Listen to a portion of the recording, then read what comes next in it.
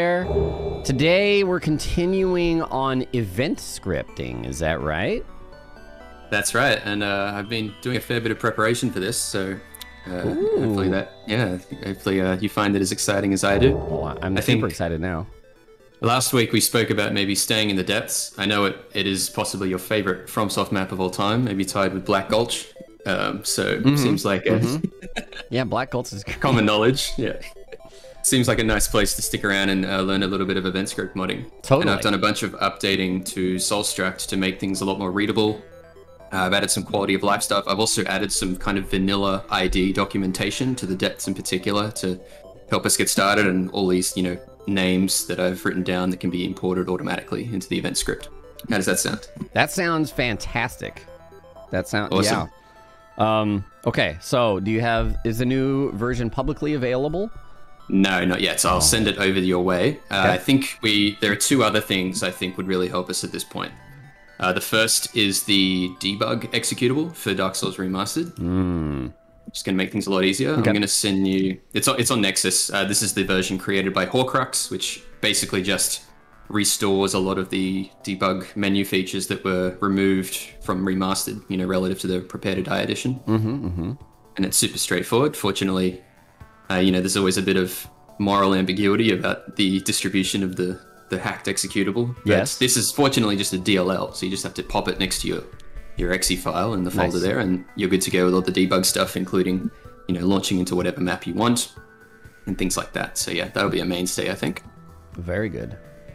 The other is a bit more, um, you know, yeah, an indicator of very serious event scripting, particularly when using kind of my tools, and that's uh, actually a Python editor program called PyCharm.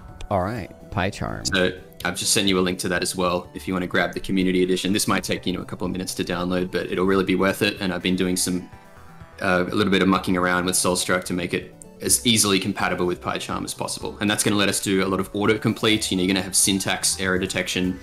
And Oh, you know cool. you can just start typing. You'll see all the possible instructions or names popping up that you might be looking for while you're writing event scripts That's awesome. and that's going to be super useful.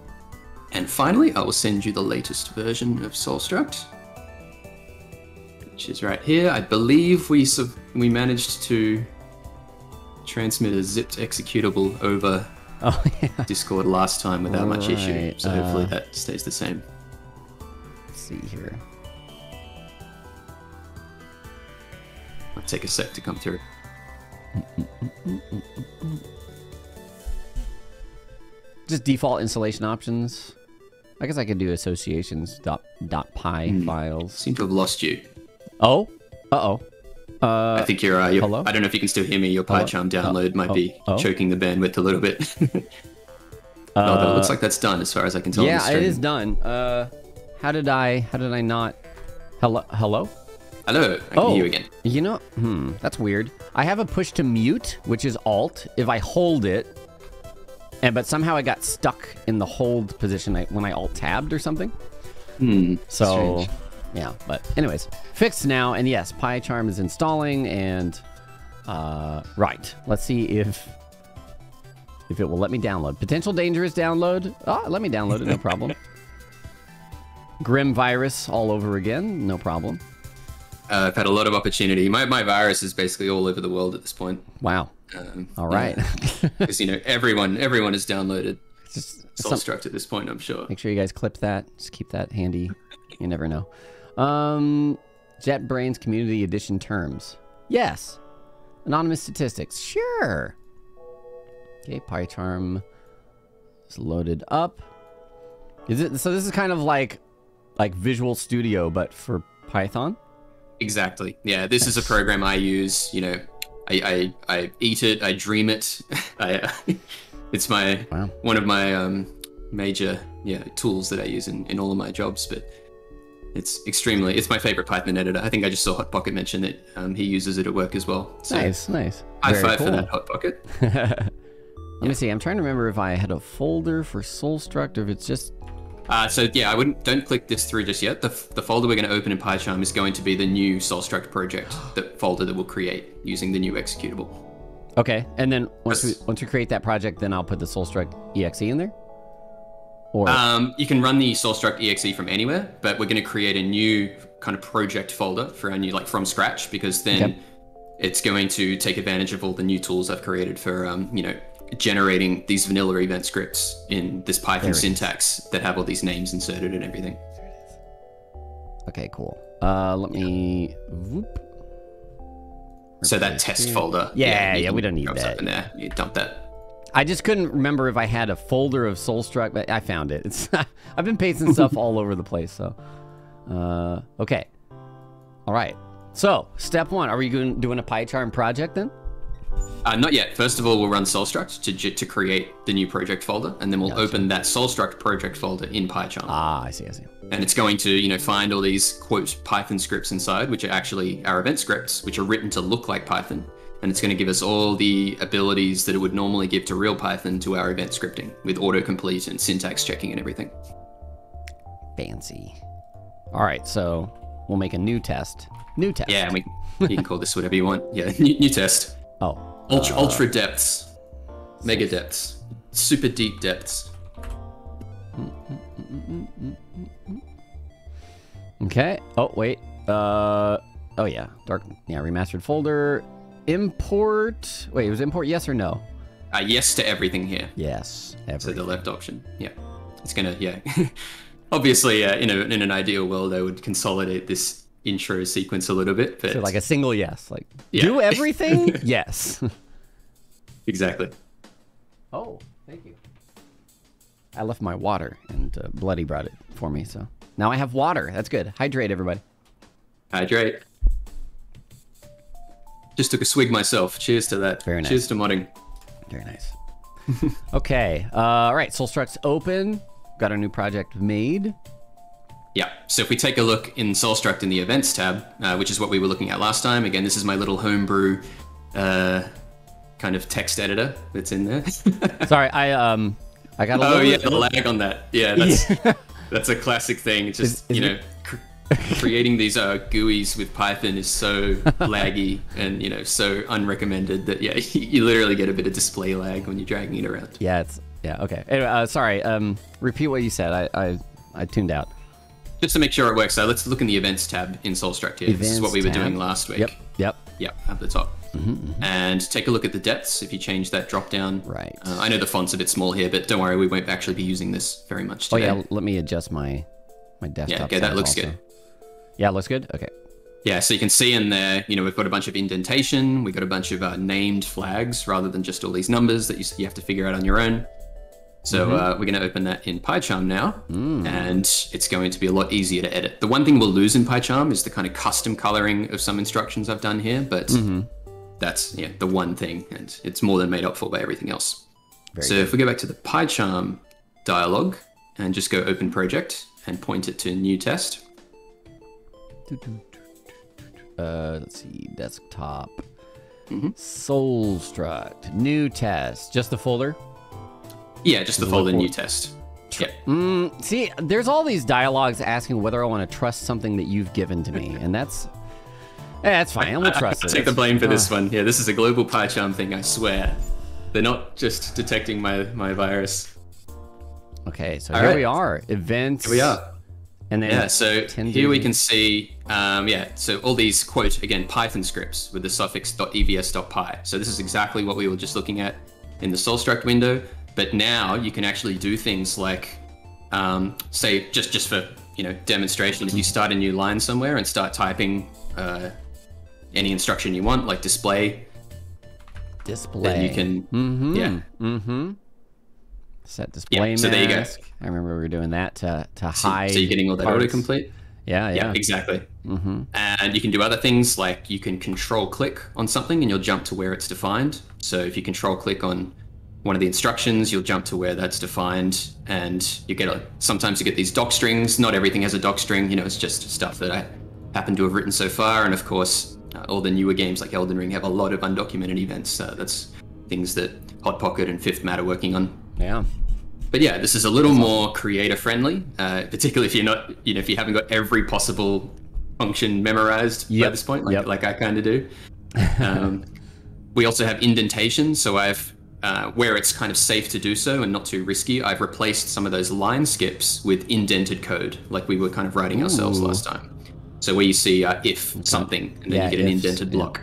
Just a lot easier to read and edit. And, and again, I think last time we already had to do a little bit of line skip modification Mhm, just to be safe. Yep. So yeah, this is kind of primo, ready to go for, for modding event scripts. And what we can do here, uh, PyCharm actually by default will save these files automatically as you edit them, so that you don't even need to press Control S.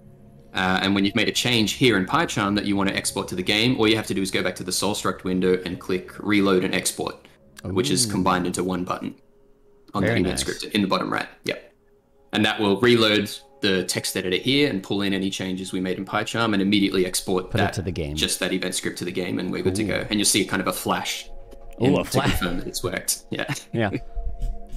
All right. So yeah, nice. that's it. We're, we're ready to, to go here. Uh, and we can do map editing. We can use Map Studio for that, which we looked at uh, both on the last, I think, two sessions we did. Mm-hmm. Or you can do you can do it through SoulStruct as well if you don't mind not having that 3D visualization. You can do things like run around in the game, and just stand where you want to place something, and then copy those coordinates. Right. Right. Uh, maybe we should fire up and get get a feel for how the uh, debug um, controls work.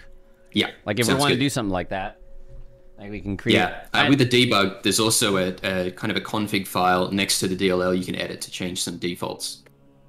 I don't know what, what am I looking at here. That is an excellent question. I wonder if it's because I changed the zoom on my. What is? Okay, it's got. uh, hmm. Yeah, It's it, not even. whoa, yeah, we might need to load into the game. Uh, Yeah, I think And it is 'cause change the resolution in-game, Yeah, possibly. Well, it- hmm. Wait. That. Whoa. Okay. Yeah, maybe. Um, model viewer. I can read that. Do you know which? we want the second option. The second, Yeah, model viewer will crash the game. I never. I don't recommend selecting that. Oh. And then I have several Uh, more. and that will be depths right there, the first one. So we can actually load into the depths by choosing the first option there. Oh well, heck. There you go. Yeah, this is, like. Oh Yeah, it's like vertically compressed or horizontally rather. Uh, It, it looks kind of. I'm, I'm getting a bit of you know a PS1 vibe of this. It's kind of cool. It mu- it must be the Windows like zoom settings or something. Let me let me do full screen here, and then we shouldn't have to worry about that. Hopefully. yeah, sounds good. There we go. There we go. Oh my goodness. Okay. Oh, so this is like what a default debug character? That's right. Yeah, this is character. Oh, at 9000, I think, is the character ID. And one of the first things I always do in a new setup is go and change the params for this debug character to Ah. something a little, little less unwieldy. But it's funny seeing what they went with for debugging. No Estus, like empty Estus flask.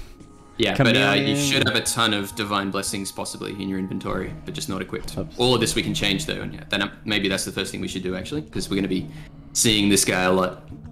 Oh yeah, sure. That's uh that would be a character initialization param, is that right? Exactly, and we can edit that just straight from SoulStruct. We will need to Oh. restart the game to see the changes though, so we Sure. may as well just Alt F4 while we're doing it. I did it. All right, Soulstruct. So Yeah, just like Hot Pocket says, that seeing that character in a video is a dead giveaway for debug DLL. Nice, nice. So, uh, using what we've learned in past episodes, by the way, which uh, episode two is up on YouTube, and there's a third one that needs to go up as well. Um, but I think the first one is when we really dug into params a lot. Um, That's right, I think Yeah. so. So, any character. Yeah, here we go. Wait, where's character? We just want characters up the top. Okay, okay. So there's Yeah. a little I've renamed these categories a little bit just to be a bit more friendly to people who Ah. don't know the uh, sometimes odd nomenclature that FromSoft uses. Gotcha, Um, gotcha. But yeah.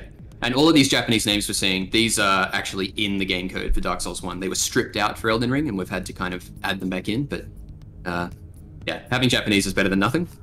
Fair enough. Yeah. And we can jump straight to ID 9000. So you can you could scroll down, or you can just use the search bar up the top to go straight to 9000. Oh, uh, we. I don't see a nine thousand. There's a seventy-two hundred, ten Oh, thousand. it's interesting. This looks like the not the correct param. Hang on, let me look at mine. Why has that changed? Oh, sorry, it's players, not characters. Yeah, Ah, so players, I've confused go. myself there. Yeah, characters is the equivalent of the NPC param. But yeah, you can see, Gotcha. yeah, bit of a bit of a Nine there. thousand. Yeah, Okay, sounds good. that's it. So yeah, everything here is what we were seeing in game just then. Uh, by the way, first thing we can do with a new Soulstruct project, if you go up to Tools up the top in the Soulstruct window, Mhm. and you go to let me check myself uh, the Param submenu and click Rename all items and equipment from text. Yeah, just the first one. Yep. Does it take a sec? Uh, no, it should be Oh, done. oh, it should be done. And okay. now, if you, yeah, just just click to change to look at another row. It just needs to refresh. Let's see. Like Uh, click nine nine thousand and one, for example. Yeah. Uh, Should the. Japanese be? yeah, Uh, it should be. And we might need to reload the whole param at this point. Let's see. I click. Yeah, I clicked Just see if it to worked. characters. We're missing anything. We do it live here, by the way. So, how can anyone Hmm. code using kanji? Kanji is code. um, That doesn't, doesn't seem to be working anymore for some reason. I'll have to take a look at that, but that's okay. Not a huge deal. Uh, if we want to find out what it is, you can just right click on the weapon ID and jump to oh, the uh, the thing as well. Probably something to do with all the Elden Ring kind of compatibility stuff I've been doing. I think I broke it. Uh, no, I think I uh, I may have accidentally when I was trying to click off one of the menus. I think I scrolled over to the scripts and clicked like something that was choosing the game, and and I was like, oh, I don't want to do that. I'm just gonna reset restart it because I Yeah, probably a good idea. Yeah, that, that I think you might have clicked Open Console, which um, is a very experimental feature that lets you do some quick Python console editing while the window's open. But yeah, very risque stuff. Mm-hmm, mm-hmm, mm-hmm. All right, new test. All right. Uh, do I need to copy stuff if we already have a project or no? Yes.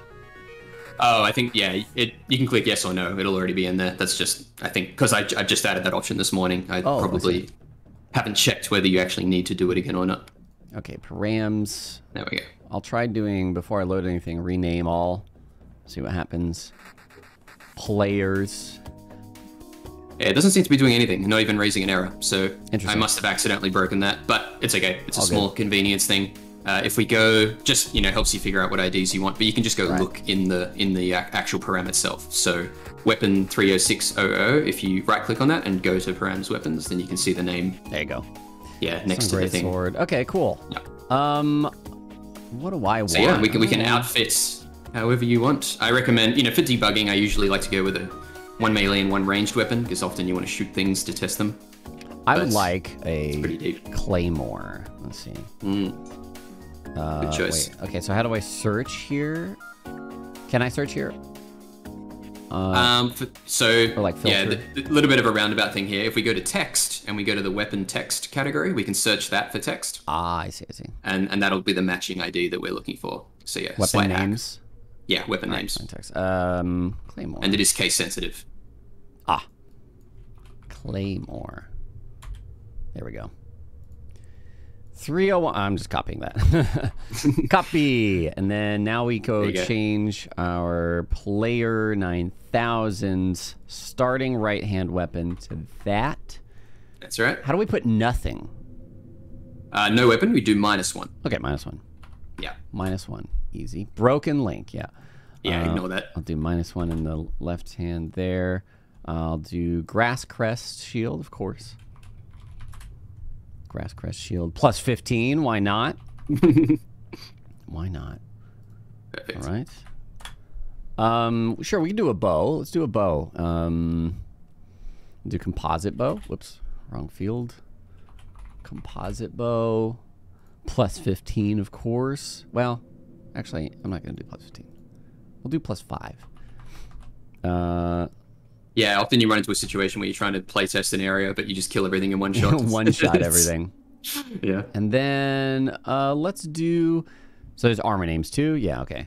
Yeah, that's right. We could do um, the gold hemmed set. Gold. Uh, is it gold hyphenated? Gold. I think it's hyphenated. Yeah. Yeah. Okay. Hood. Oops. For those that might have just joined that don't know what we're doing, we have set up the debug. Um, we, we put in the debug exe for Dark Souls Remastered, which allows you to access the debug menus, and they're they have a default debug character, and it's got all this crap on it. But we are modifying what that character starts with, so that it's a little more wieldy and something I'm familiar with and like. So giving him full gold hemmed. Uh, okay, so is it 462, 463? Yeah, okay. That's right. Yeah, each set has offsets of 1,000. Roger that. 4,000. I guess. Whoa. Oh. I think you wanted three, uh, two for the for the hands, and three for the Oh. legs. Like four six two. Oh, four, yeah. yeah, I Yeah. skipped ahead there. All right, and then we'll You can try to equip a leg armor to hands, and you'll get some interesting results. All right, is there a. Oh, good names and just large arrow. Uh, that's actually a weapon. Uh, projectile ammo is is uh, counts as a weapon, There you go, large arrow. and that's that was critical for survival mod because you can craft arrow weapons. So I, I hacked into that so you can craft Nice. uh, nice. normal weapons as that- well. that's the only thing that's actually considered a weapon that you could craft. Exactly. Uh, Yeah. Uh, and if you scroll down a bit further, in addition to the arrow slot, there, there'll be another field in there for the number in Oh, that cool. slot. Yeah. arrow slot and then arrow slot count. Nice. 999. Of course. uh okay. Bolt slot. Rings. Uh, uh, Yep. Sure, I think yeah. by default it already has Havel's ring. That's ring 100, which Nice. is pretty useful. But Nice. uh, yeah, and I think the Covenant of Artorias also for use just testing convenience. Okay. Um You might want to change the goods as well. You could you could auto equip say 99 divine blessings or Estus Estus flasks or whatever you want in the uh, good slots. good slots, yeah. Uh By default, it's just an empty Estus flask, I think. let's see.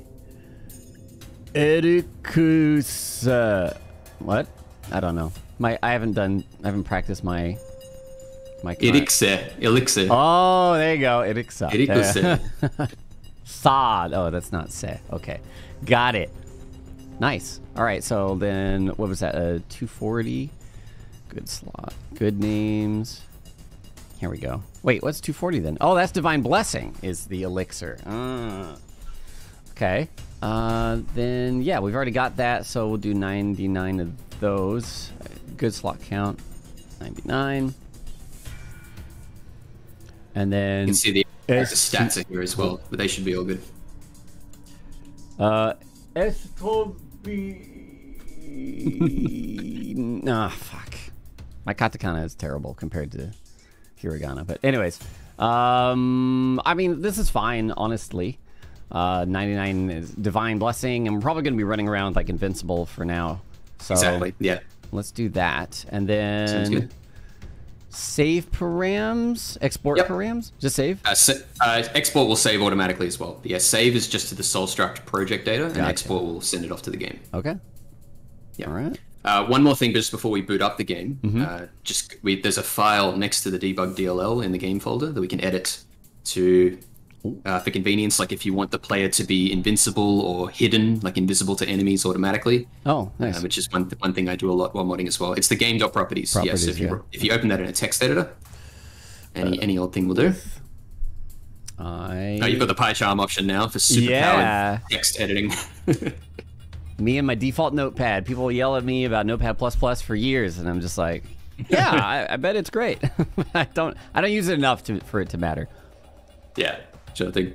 So under the game data heading there, just near the bottom, there's a bunch of options dead. that you can set to one if you want them. player no, So no- dead means what you can't die That means you're immortal, so your health can't go from one to zero, but Okay. you can you can get hurt all the way down to one health. okay Yeah. Uh, exterminate will make your I don't know actually exactly what Oh. it does under the hood, but I'm pretty sure it sets your damage multiplier to one billion or something. um, Okay. And hide and silence will yeah that's your visual and sound Ah. invisibility options as well if you want. nice And again, you, Yeah, you can turn these off in the game, but this is just for the default setting. for starting yeah Yeah, Okay. which is useful because you're running around placing enemies and you're like a puppeteer hiding in the shadows, just Exactly. inspecting enemy positions. yeah okay let's go We should be good to go. Yeah. Uh, not that it matters now, but there's also a setting in there where you can change the ID of the debug player. So rather than going back and editing player 9000 every time, you could set up a bunch and just change the ID in that text file as oh well. nice nice Yeah, That's so cool. you, can test out different classes and things. okay so Okay, I can um, read read these now. Yeah, we can read. Uh, yeah, it's a little small, but still readable. Um, BGM test. I like that. SFX test. This could come in handy. Yeah, I'm not sure how many, uh, other than the debug in-game menu, how much of this Horcrux 8 was able to restore for remastered, unfortunately. And even in Prepare to Die, the model viewer would crash the game. I think someone fixed it at some point, but we just have better homebrew tools now. Oh, most of these don't work. Well, all right, fair enough. All right, so debug walkthrough is what we want. Yeah, that's right. Gotcha. And then, well, yeah, there's depths. Okay. Yep, 10 0 0.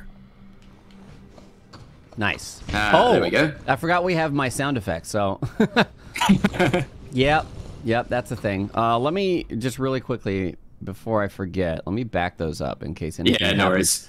Uh, I can uh, guarantee you that Soulstruct won't touch your sound files, but Right, right. I, I don't want to go to the grave claiming that when you come after me. yeah, I don't want to be like, oh, we were messing with it in Soulstruct, so let me just uninstall, delete, and then reinstall. So, um, yeah, one Yep, sec. sounds good.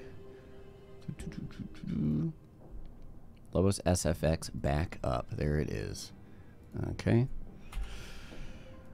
Which it's uh it, it's coming along. It's a lot of it's a lot, but it's been fun working on it. I'm excited. I've to- seen, yeah, it's, it's awesome. yeah. How much of the music have you done now? Not very much music. Music is really going to be the last thing. Yeah. We've done all of the sound effects, like just kind of the shorter sound effects that happen combat and all that stuff. All we have left really is like ambience. And then after that, we move on to dialogue, which I want to get a bunch of like guest people to do voices. So that Nice. should be like like it should mostly just be me putting in the sounds, which should be fast. And then I would move to the music. So um, yeah. And once You really, uh, it's shocking how many sound files are in a game, right? Like, Uh, yeah. There's so many I record, and I'm like, I'm not even sure if this is used, and it's like a really long ass sound, but whatever. Okay, backed up. Uh, all right, back to it. Yeah. Uh, you shouldn't need to Alt F4 the game to reset the sound. I think just quitting and reloading the, the file if you wanted to. But, oh no, you didn't restore them, you just wanted to back them up. Yeah, just That's right. backed it up. Yeah. Yeah, perfect. I have your stream muted, so I won't get uh, the, the pleasure of, unfortunately. Oh, that's right. We're hidden. I forgot. I don't need to kill things. Oh my gosh, I Still, was. You can still aggro them by hitting them. They can't hear or see you, but they will. You're, you're a silent ghost running around, and they will try to get you if you, even if you just. Uh, yeah, exactly. Mm. And this is a good way you can experiment with the AI system, and you'll see how long they uh, they go after you for, and they do kind of magically know where you are. I think. um, Yeah, yeah, yeah. Once you aggravate them, That's cool. they will give up after ten seconds. or so. Whoa. Okay, I accidentally clicked the stick, and now we got super speed. So that's good to know. Yep. Yeah, I was going to let you know about that. Yep. So L3 uh, enables debug movement, and that will also turn off gravity. And you can use L2 and L1, I think, to zoom up and down. I don't, you know, it's Yep. hard to remember the Yeah, yeah, controls yeah, yeah. off the top of my head. Uh, Mm-hmm, yeah, that's it. So one reason that we want dead to be like we want invincibility by default as well is that you'll easily and frequently run into kill planes accidentally using this method of transportation. So yes. uh, this will protect you from that too. unsurprisingly not uh, not an uncommon thing um, that I've experienced on my stream. Was, eh, you know, it happens. Okay, so we are we did some stuff with Gaping Dragon last time. What do you what would you like to do now? So I think uh, we mentioned last time that maybe setting up a couple new enemy ambushes would be a good starting thing. So we could say uh, place an enemy or move an existing enemy around a corner somewhere, and then create a region box that you have to walk in that will trigger the enemy to attack. Sure. Let's And see. yeah, well, good start. Open that. It's the one-way door, right? oh yeah, yeah. That's right. I forgot we modified that all the way. But I That's think right. I, oh no, I don't have the key for this. Oh. Okay, it's fine. Mm. Uh, another trick: when you have L3 enabled, so debug move, if you hold R2, you'll you will no clip, so you can you can zoom through anything. Oh, can I get out though? I don't think I can get out. Well, it doesn't matter. I can always just no clip. Exactly. Okay, cool. I just, I, I guess the Souls player in me is like, I got to make sure I have the close bonfire in case something goes wrong. So, who knows? Yeah. Well, if you die which somehow, you will respawn at this bonfire now. Yeah. Um, but in debug mode, whenever you load into a map, you'll always load at the default position for the map, uh, which the game only uses normally if it loses track of you somehow, like with um, wrong warp glitches, which is how. You know, the only reason you can wrong warp directly into the kiln is because the kiln default position is on the other side of the filing door. Yeah. Very convenient. Good stuff. Um, okay. Well, we could set up an ambush right here, uh, right, right after Yeah, this sure hallway. It's- it's Just nice before we do anything ourselves, I think it's worth uh, actually having a look at the event script again. Yeah. Um, with all the extra stuff I've added, and it should be a little more interpretable now. And you can see all the existing events that handle handle slime ambushes uh, and um, the the rats that burst out of the boxes here. We could we could create more of those if we just duplicated the box object as well. It's, it's a pain to do this with full screen. That's why I always Yeah. do borderless. But uh, oh my gosh, are we gonna look in um, the was it pie um, PyCharm. pie charm? Yeah, PyCharm like PyCharm. a snake charmer. Yes, right. That makes sense. Python. Yeah. Okay. All right. Here we go. So, uh, so we're looking for an ambush event. Is that what we're looking for? Yeah, I'm just looking at the syntax here. There's a, there's a lot of white. I would recommend just if we quickly install a different theme here, that we can actually see the functions more easily and distinguish them from the arguments. Sure. So if you go up to, actually, if you press Control Alt S, you can open the kind of settings menu. Mm-hmm. Mm-hmm. I'm just going to straight up recommend my my favorite theme to you at this point. So if you go to plugins on the left, Plugins. Yep. and then search for One Dark. Uh, So- let's see. Search for like the numeral one. Up the top in the search box. Yeah. Yeah. Uh, no, the the word one, One- space dark. Dark. Oh, there is one dark theme. That one. Um, it's by Peter S- Mark Skelton. Yeah, that's the one. Okay. So Yeah, this is going to give us a lot more. I don't know why the default themes, um, you know, they don't differentiate a lot of different things that are worth differentiating in the code. But Ah, I see. I see. yeah, this will let us actually, yeah, be able to see things a lot more easily. Okay. Applied. Colors. Yeah, we've got more colors. I think. There we go. So yeah, now we can see the the blue function names are stand out a bit more relative to the all the uh, the arguments. Mm-hmm, mm-hmm. So yeah, um, you see here for all the the event definitions where it says restart on rest uh, Yep. above each one in yellow. Previously that was just a number, but I've actually I've named a lot of the flags for you so that you can see immediately what each event is doing. And that flag name, like defeat Gravelord Invader, that's just that's a, a Ah. variable that represents flag 11005081, which is the event ID. And that's the flag that will be enabled when this event finishes. That's kind of the auto Right, flag for this right. event. Yeah. Uh, I've also changed the way that by default conditions are represented, so they actually say or or and, and you can see they're doing this add thing, and you're adding different conditions into these groups, uh, which I remember from last week. It's always the hardest thing to kind of get your get your head around for, for event scripting, the way that these condition groups are built. But you can see here, so this is adding two different conditions to or one. One of them is that a certain flag is enabled, Mm-hmm. and the other one is that a different flag is enabled, which is one of the flags I've named Right. and then main await will wait for the OR group to be true, and the OR group can become true by any of its subconditions being true. So this is a long-winded way of saying wait until one of these two flags is enabled. So or underscore one here is just a variable. Is that right? Yeah, it's kind of a built-in condition group name, and there are seven available that are, have OR type and seven oh, AND in. type. Okay. Yeah, it's built in. Uh, there's only seven slots of each type, or Right. an AND for Dark Souls 1. And then there's the special main register, which, uh, if you load a condition into that, it will actually pause this event until it's true, whereas the others will will uh, not pause. Gotcha. Yeah. And then after that, we have an if block. So that used to be a line skip, and I've just I've uh, kind of quote decompiled that a bit into something a bit more readable. Yeah. And that's just saying if that flag is enabled, disable that flag. Yeah. So pretty straightforward. That's much much more straightforward than what we were doing last time with all the skips, and then like when we wanted to take it out, and we had to skip different num- numbers of lines and that sort of thing. So- Exactly. Yeah. And so, yeah, this is an event uh, that we probably wouldn't probably do much with, but yeah, as you can imagine, Sure. it makes it very easy. If you wanted to enable all the Gravelord Phantoms automatically, you could just mess with these events a little bit. But yeah, not the most interesting thing. yeah. And if we go look, uh, if you just you can control F in here, by the way, it has all Mm-hmm. the usual control, um, you know, searching functions, and you can look for Gaping Dragon, and you can see a bunch of events for that. Yeah. We're um, changed there as well. Yeah, okay, so let's see. So never restart. Don't do this again. Flags.host entered gaping dragon fog.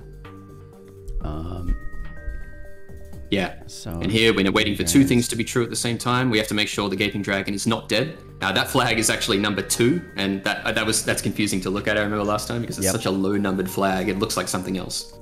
But I've, yeah, I've named that here, and yeah, if you hover over it, you can see the actual number value of that flag, which is two.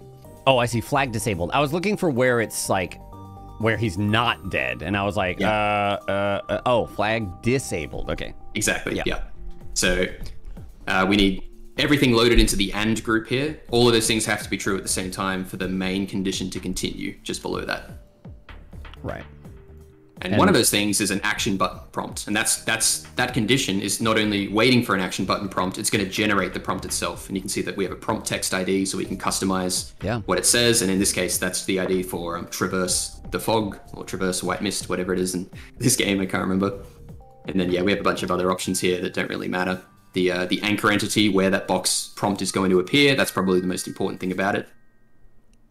That, And and that's like a, we looked at a trigger box, like right right around the fog gate. Exactly. Yeah, that's a, a box perfectly placed in front of the fog gate. Um, and yeah, they you know if, if that box kind of peeked over the other side a little bit, and I think we talked about this as well, using parry glitches to get into triggers on the other sides of doors, so Right. you actually get you get the prompt you're not supposed to get. Yep. But yeah, in this case, it's all on one side. Gotcha. Is there any customization of the UI, or is that all just really like low level, kind of built in? Unfortunately, it's not actually fully low level, but it is in very different files. So all the menus, they're in these files called uh, DRB files that kind of define layouts for menus. Okay. I think they actually yeah, they changed it in newer games possibly to a more friendly format. Hmm. But in event scripting, we all we can do is make display dialogues appear. We can make those big status messages appear, like um, Right, yeah. when you when you go up to the golden fog before you beat Ornstein and Smough Oh yeah, yeah. and we can create these action button prompts that will just say a button colon and then subtext yeah so that's the extent of our gui capabilities here So it's not easy enough to just like just offset where that box shows up. no that Okay, that's would what I be hard coded i imagine Yeah, okay. All right. or in a drb file yeah Gotcha. which just places textures and text all over the menu layout Cool. yeah so we looked at some of this last time but uh, if you control f for ambush Mm-hmm. some of the events that i've i've named here we can see how Ah, some butcher drop ambush. Yeah. Yep. Okay. Nice. So it's easy to forget that. Yeah, I always forget about the depths, the, the little upstairs area. I'm always thinking of slimes and water, but yeah. So we can try to interpret a bit of this event, and this one's a little more complicated than usual because it's actually doing two things at once. It's also dis, um, it, you know, it disables the butcher if it's if it's already dead, which is kind of redundant, right. and um, it this actually everything else is basically yeah what what we would do. So these so. these ands are these auto uh placed in by you or is it happen to match up with whatever like slot they used?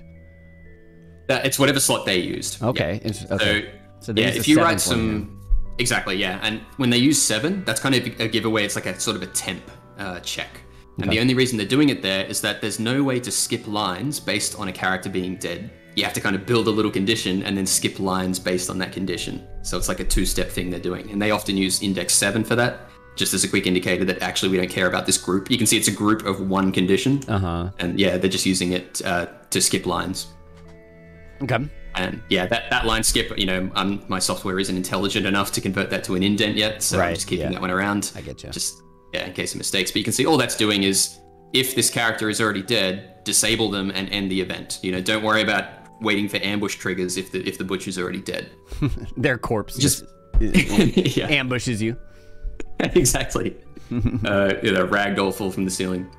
Kind of redundant here because this event's going to run when the map loads, and there's no way the character could already be dead when the map loads. Right. So Unless this is actually it's- quite unusual. Yeah, this one doesn't uh this one does respawn even if you kill it, I think, right? It does, yeah. yeah. And we can tell that just from the fact that this disabling is not using like an event flag that would stick around that you could use to actually Oh, remember to, when to this. keep it dead, yeah. But we can see other cases of that in, in the script. If you control F for, I, I promise we'll come back here because ambushes are what we're in for. But if you search for no respawn, No respawn. Yeah, there we go. uh, just one word, yeah, then you'll see there's an event they use uh, for multiple characters. So this event actually takes an argument of a character ID. oh, okay. Yep. So you can kind of create multiple instances of this event with different characters, and then it's checking is this event slot flag enabled, and that's going that that slot flag is going to be different for each character that you run this with. Right. And then if it is enabled, then just disable and kill the character and end the event. Otherwise, wait for the character to die and then end the event. And that's going to enable the flag that next time you load the map is going to trigger that first check at the top of this event. Hmm, mm-hmm. So this is a classic template for preventing an enemy from respawning. And basically every non-respawning enemy in the game uses exactly this event. So the first time you run it, it's waiting for the character to die. But every time you run it after that, it's going to detect this event has already finished in a previous load, and it's just going to disable the character. Nice. Nice. Yeah. and if you um, if you control click on that event name, so just after the def, then you can jump to all the cases where it's used as well. Hmm. So this is for depth. So um, yeah. Yeah, just click on one of those. Yeah. So yeah, those different IDs we can see there, uh, just different characters. So I think the channeler. Oh yeah, not that one. Yeah, yeah, yeah, yeah. That's a different file. See zero characters. Yeah. C three three four zero zero zero two, and then um, I guess you would just have to look that up in like the character params to figure that out. Yeah, you can look it up in Soulstruct and you can see the name of the enemy model at least. Um, or you could look it up in Map Studio and actually see exactly where that enemy is in the map quite easily. Well, so what? What's the easiest way to do this? Would I take this whole number here, and then can I search that in Soulstruct? This three three four zero zero zero two, or was it only like the first four numbers? So the first four numbers tell you the model. Uh, what I would recommend doing is go to the Soulstruct Maps tab. Okay. Maps, Yeah, so on the far left. and then characters. That's right. Yeah, and it's going to be one of the characters here, and these are kind of sorted alphabetically, uh, so we can go down and we can find that. Attack Yeah. dog. Wait. Yep, that's right. attack dog. That's the butcher's dog. So the the, the that- dog that belongs to the butcher that doesn't respawn doesn't respawn either. I did not know that. Well, I heck. think I, I think so. Yeah. Yeah, the one right next to the large ember pickup that before you Yeah. can like drop down. Huh. I didn't know that. I guess I just you never you know, you you you mostly notice that the butcher doesn't come back, but the dog Yeah, the exactly. dog too. But there's more than one dog hanging around there too. But Yeah, that's true. This is, this is shed a tear for the butcher's dog who. Uh, Sad. yeah. Well, he's got no owner to defend, so mm, Yep. he's got he went to be with his owner. All right. uh okay, cool. That's awesome. Uh, the the the two three seven zero one, I can tell you that's the channeler as well. So the channeler of course Ah, doesn't yes. respawn either. And the two six six zero, I don't remember off the top of my head. Well, now let's find Uh, out. 2660 Butcher, Butcher, Butcher. Wait. 000 and 0001. Okay, so the one near the large ember does not respawn. Oh, okay. So the one the one that ambushes you doesn't respawn either. I guess. Ah. Just remembered that. Yeah. Yeah, I know it guaranteed That's right. drops the uh the sack. And so maybe that's why. Yeah. Yeah. Interesting. Right. Interesting. Okay, cool. The third butcher, just while we're here, you can see there's another butcher Yeah, actually in that I maps see list. that, yeah. Uh, that that's a Black Phantom butcher, and you can tell that they always have Oh. IDs ending in 900 and something. The, the Oh, Great okay. Blood Phantoms. Yeah. Nice. Nice. Well, that's awesome. Okay, so yeah, this ambush event, you can see other than the weird stuff at the beginning that's kind of, you know, it's overlapping a lot with the no respawn event, and we, we wouldn't have to do that ourselves for an ambush. Uh, all it's doing is it first disabling the AI of the character. Then it's something interesting going on here. So it's creating two separate and conditions. One of them is that you're inside a region that I've called Butcher Ambush Trigger. Okay. That's going into that's going into condition group and one, and then we have a different condition going into and two, which is that you attack the butcher, and specifically that the player attacks the butcher. And this makes sense because um, you know with, the ambush works first by disabling AI, otherwise it would kind of automatically hear you around the corner and you know ruin its shot at ambushing you. But you also want to kind of wake up the enemy if you, if it gets attacked by the player. And so this is what ambush hmm. scripts would normally do. Hmm. Now in this case, we're not just loading both of those conditions into or one because there's there's something special happening after the fact here, which is that skip lines if finished condition false. Once and it's a little complicated and we probably won't need to do this for our own condition, we can just, you know, do A or B. But a finished condition is a condition group that's already been loaded into the main register. And at that point it's kind of frozen.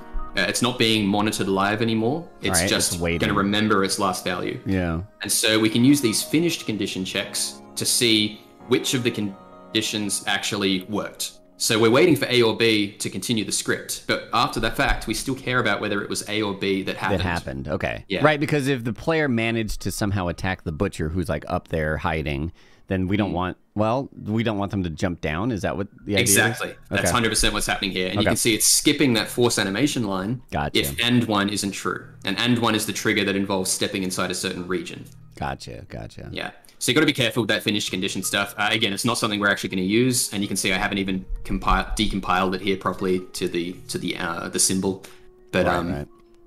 well, I know actually I have. It says yeah, input condition equals and one. Yeah, so you can see that's the condition it's checking. But we're skipping if that's false. So Got you. Got that's a way of saying if and one is true. And it's finished because it's frozen, because we already put it into the main register. So so just to um just to review here because we've got two ands and then we've got ors. So why So both of these why are these loaded into or? Why isn't it just ors in the first place? That's yeah, that that's why um, it's it's for the finished condition. That's all for that. I Exactly, it's all for that. If we didn't care about checking the finished condition, we would only have the two OR lines, and we'd I put those you. conditions directly into that. Yeah, and that's what we will do for our own custom ambushes, because you know we didn't care about this drop animation thing uh, so much. Or we might, but you know we can we can start off by doing it the uh, the easy way. So And all it's all that's going to happen is that if you manage to attack the the character, then they're also going to do their ambush animation. Right, right. I get Yeah. you. So I guess the, the idea is if you're doing a script like this and you get down here and you're you're loading it into the the main register to wait, you can only do that with one of these checks. Is that right? Yeah, that's right. So that's why they had to do two ands, but then put it into an or. Well, they load them both into a single or, and then Yeah. Because the main is waiting for the, for either of those to be true, and the main is the thing controlling whether we stop or go. right. That's all it's doing. So we want to go when, when once A or B is true, but we still want to remember that there were two possibilities that led to this point, and we want to check after the fact, which is why we use the finished condition variant. Gotcha. Yeah. Okay. So yeah, little little complicated, but Yeah, um, yeah. yeah, just the way that finished conditions work, and yeah, but fortunately you don't you really don't have to use it too much. I just want to say uh, to to people in the chat that yeah, this is this stuff right here is definitely uh, coding experience helps with understanding what's going on here, and I do have coding experience, um, and even this stuff is like like this register stuff is very like assembly, like that's what it feels like to me, which I did assembly one class, and I remember the gist of it, but man, the, it's it's a little. Uh, it's a little complicated beyond that, even. What we did in the earlier episodes is certainly a lot easier. It's a lot of text editing, especially with the, the visualization programs we have. So I don't want to, like, I, I hope people aren't jumping in and just going, oh God, I'm completely lost. This is, I'll never be able to mod ever. But this is the, the more complicated systems for how to, you know, we're, what we're going to do is we're going to do a practical uh, implementation of adding a new enemy that's going to pounce on us when we come around the corner. That's what this. We're looking at the ambush code that they have here. Not Yeah. all of it is necessary, but you know, some people might want to do some more complicated stuff. So we'll review that as we go. But I think the most valuable stuff will be like, okay, boom, start from scratch. Let's do enemy ambushes from around corner, and you can just kind of focus in on everything that's happening there. So Absolutely. yeah. Yeah, and yeah, I think once we write our own little event here, which we'll do in a second, it's going to be a lot easier to kind of understand because we'll have earned it. Well. yeah, that too. That But just before that, I think it's worth looking at the slime ambush event just Okay. below this one, uh, just so you can see another example of, a, of, a- of an ambush type. Hmm. Okay, so to review, um, this flag, ceiling slime ambush, by default, when when the the area is loaded, this is this has not been tripped. This flag has not been tripped, and the game knows that, so it, it hasn't happened, right? And then this will reset every time you rest at a bonfire, and uh, and I just want to kind of go through this on on uh, so that I keep things straight in my head too. Yeah, for sure. this. So if it is disabled, which means if this hasn't happened yet, um, then we're disabling gravity on character. It looks like um, so in code, in- these are this is like a function, and you can provide information to that function such that this could affect you know more than just one specific thing. So for example, it's for a slime, but we want it to be for a specific slime, slime A and slime B and slime C. And so this allows you to send in, uh, you know, that particular slime's ID, uh, as far as I know, right? So, Exactly Um, right. So then here we're disabling gravity on the slime, which means he's just floating in the air. Yeah. Disable collision, so you can't. Interesting. That's interesting to me because can't you shoot them like before they drop down?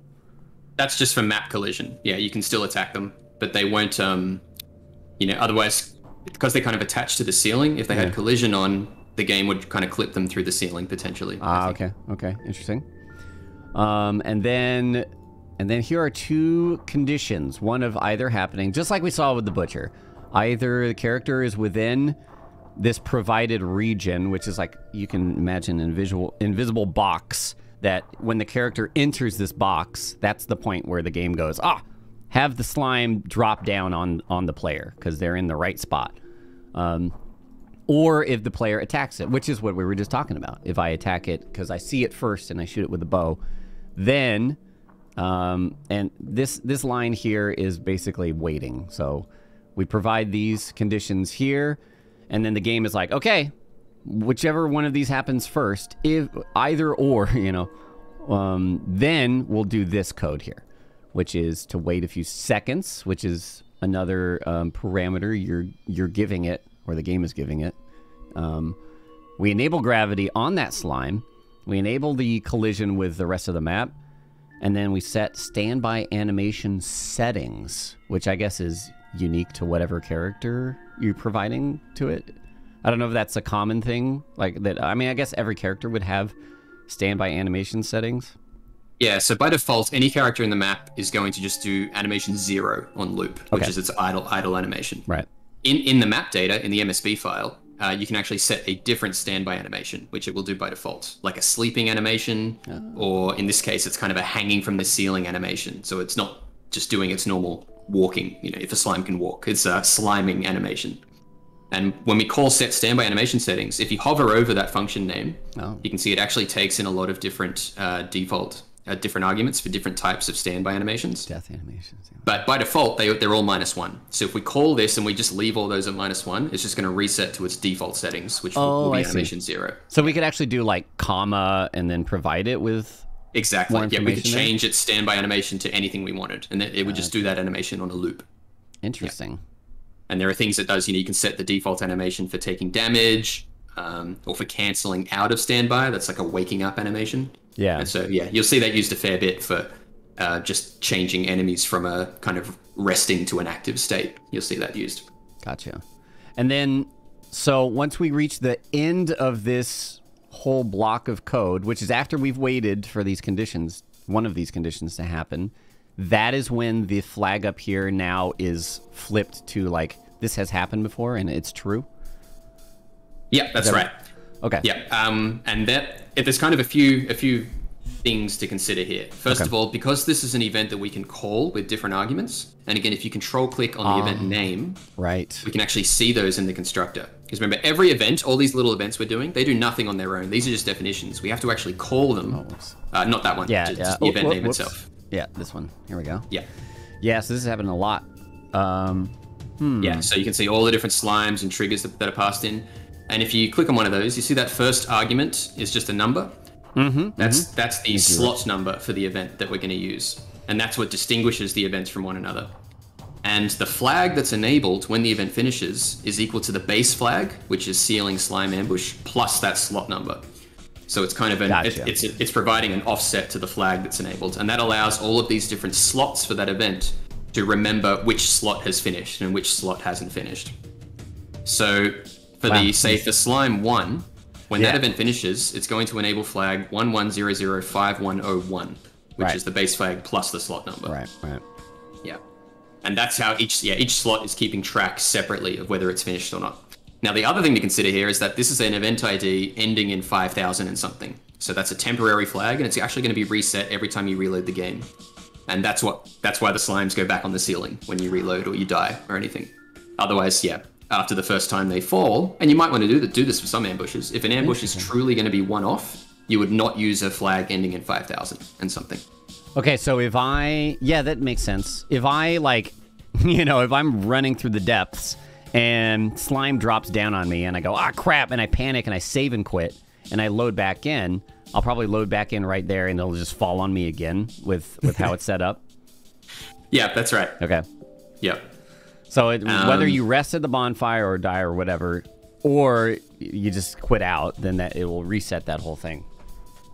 Exactly. Okay. Yeah. And then the restart on rest part of the event, that just means that this event also restarts when you rest at a bonfire, which is not standard behavior. But for any events that kind of set up enemies, you're going to want to do restart on rest because otherwise, um, you know, you'll get funny behavior and they won't go back to their ambush waiting state when you rest at the bonfire. Right. So what does uh, what are all the options for the restarts? I know there's never restart, which is like basically this is something that happens once and never again on your playthrough Yeah. or whatever. It never restarts a little bit misleading. It actually Um, Oh. it will restart when the map loads, which is what I should call that. But I it won't restart uh, any other way. So Okay, if you okay. reload the map or you die, it will restart. So for things like enemies that don't respawn, period, that's just like controlled through a, a flag that's set. That's like make sure like you know if Black Knight died, then n- then don't spawn Black Knight again. Exactly. Yeah, and if you control F for no respawn again, we can actually um, see Oh how yeah, that's happening. I was like the- with the event control. F four. no, yeah, no respawn. Right, and this is the same thing where you you can Yeah. So you can see this multiple. Yeah. Exactly, and this base flag is uh, eight five zero, like one one zero zero zero eight five zero. Ah. Yeah, yeah. But whenever this event is called with a different slot, that slot offset to this to this flag is going to be the flag that remembers if that character is dead or not. I and that's see. why the first line is if this event slot flag enabled. So that's not just checking flag 850, it might be checking that plus the slot number. Plus the and this. So is this underscore? Is that Python syntax? Yeah, I've put that there because that's where the slot number would normally be passed in. Yeah. And, you know, if I don't have it, Python's going to be like, hang on, you know, you haven't got the right number of arguments to this function. Right. So yeah, that represents the slot, which you know the slot is never used in the event. Uh, it's only used in an automatic way. It's not like a variable that you would condition upon or anything Right. like that. Yeah. Okay. All right. Yeah. Very cool. Um, yeah. The other restart types, Hot Pocket just mentioned one called End on Bonfire Rest. Does that is that the one? Was that in Dark Souls One Hot Pocket? Because if so, I have got it, but I've, I've called it Unknown Restart. If you control click on Restart on Rest, you can actually see all three of Oh. them. Unknown restart. Yeah. Yeah. So Huh. I think uh, back in the day we had not figured out what that what that actually did, but I think Hot Pocket is suggesting, yeah, it's used for skeletons that assemble themselves. So if you end on a bonfire rest, that, that's interesting. It's good to know. I can actually finally change that after so many years. nice. That's the one for skeletons. So I'm trying to think. End on bon- So you're saying like, yeah, if the skeleton is, you know, getting killed over and over and over and reassembling itself, then when you sit at the bonfire, if you didn't end on rest, like you don't, you wouldn't want to restart it on rest because then it would just keep, they would keep re- reassembling or. Yeah, I'm not sure how that logic would work. it depends exactly which event it's used for. I can't remember because there's a few different events that are going on with the skeleton assembling themselves. Okay. Yeah, we won't get into that. That's probably a whole nother Yeah. thing, but that's interesting to just, uh, I guess, know that it's there. Yeah. Uh, okay. Okay, shall we uh, make an ambush? Yeah, let's do it. Cool. Um, All right. So yeah, if we find the place first, I think getting our Yeah, enemy in in, the place game. would be the first thing to do. Yeah, Okay. in the game. All right. So, uh, if you just joined us recently, we are going to basically create an ambush event. We're going to place an enemy in a place in, in a new spot, and we're going to set it up so that whenever we walk into this area, it's going to ambush us. So let's put We will have to use an enemy model that's already in this map because otherwise Sure. we're going to run it run Yeah. headfirst into AI scripting tutorial. no, yeah. Let's let's just do a rat, okay? And it, is the facing also? Um, that's right. Yeah, Yeah. The, the direction you're facing will will be recorded. Okay, cool. So we're gonna put a rat like right here, and when the player comes around the corner, they're gonna look right and be like, "Oh no, rats!" And then from the left, "Shit, rat!" So I mean, that's that's rats in a Perfect. nutshell. All right, so Miyazaki himself would couldn't be prouder of this ambush position. I'm excited. Okay, so we just stand here, and then Soulstruct will provide. And now go to the Soulstruct window. All right, Yeah. stupid full screen. Okay, and where are we looking? So first of all, uh, go to the runtime tab. Ah, hook game. Yeah, click hook game. All right, so this hooks it up to the game. Hooked to Dark Souls Remastered successfully. May I use features such as assigning current player coordinates to map entities. For more useful runtime features, use DSDSR gadget. Okay. I see. Yeah. So now it's and- And tracking they got a few things enabled. That's right. So it's reading the game memory, and this is the feature that makes all the antivirus programs lose their minds. um, I bet. So now let's go to the Maps tab. Hmm. And do you want to move an existing route or just create a new one? Let's create a new one. Yeah, just as, it's just as easy. Yeah. Okay. So the rat models, they're all one, two, zero something. I Okay. don't remember the order from small to giant, but if we just look at the model IDs and the existing ones, it can tell us. Uh. Oh wait. Let's see. One two Uh, zero. Wait. Am I in the right spot? Uh, yeah, click previous 200 up the top to scroll upward more. Oh, you can I see see, it's starting at 53. Yeah. Yeah, large rat. Okay, that's large rat and then small rat. So let's do a small rat. Wait, Okay. is small? No, yeah, small rat's like the regular size rat, right? It's not the Yeah, that, that's, the your, that's tiny your standard rats. rat. Okay. No, the tiny rats are actually objects. So are we gonna now just go to the bottom of the list of rats and create a new one? yeah, that's probably a good idea. And actually, if you right click the last small rat, Mm-hmm. Mm-hmm. Um, we might actually want to right-click the last the last one that doesn't end in the 900 ID because that's going to have like Gravelord Phantom params attached to it. Okay, so the last like regular small Yeah. rat. Here we go. And if you right-click that, Oh, plus And copy then- player transform. exactly, yep, Well, that's easy. Boom. yeah. All right. there you So go. And uh, you can rename that rat, yep, just by clicking on it. You know, give it something better than the, the one at the end. So you can, you can again don't you don't have to stick to the boring numbers. Sure. You could just you could name it ambush rat, Right. uh, whatever you want, which I highly recommend for big modding projects. Yeah. Bamboozle rat. There you go.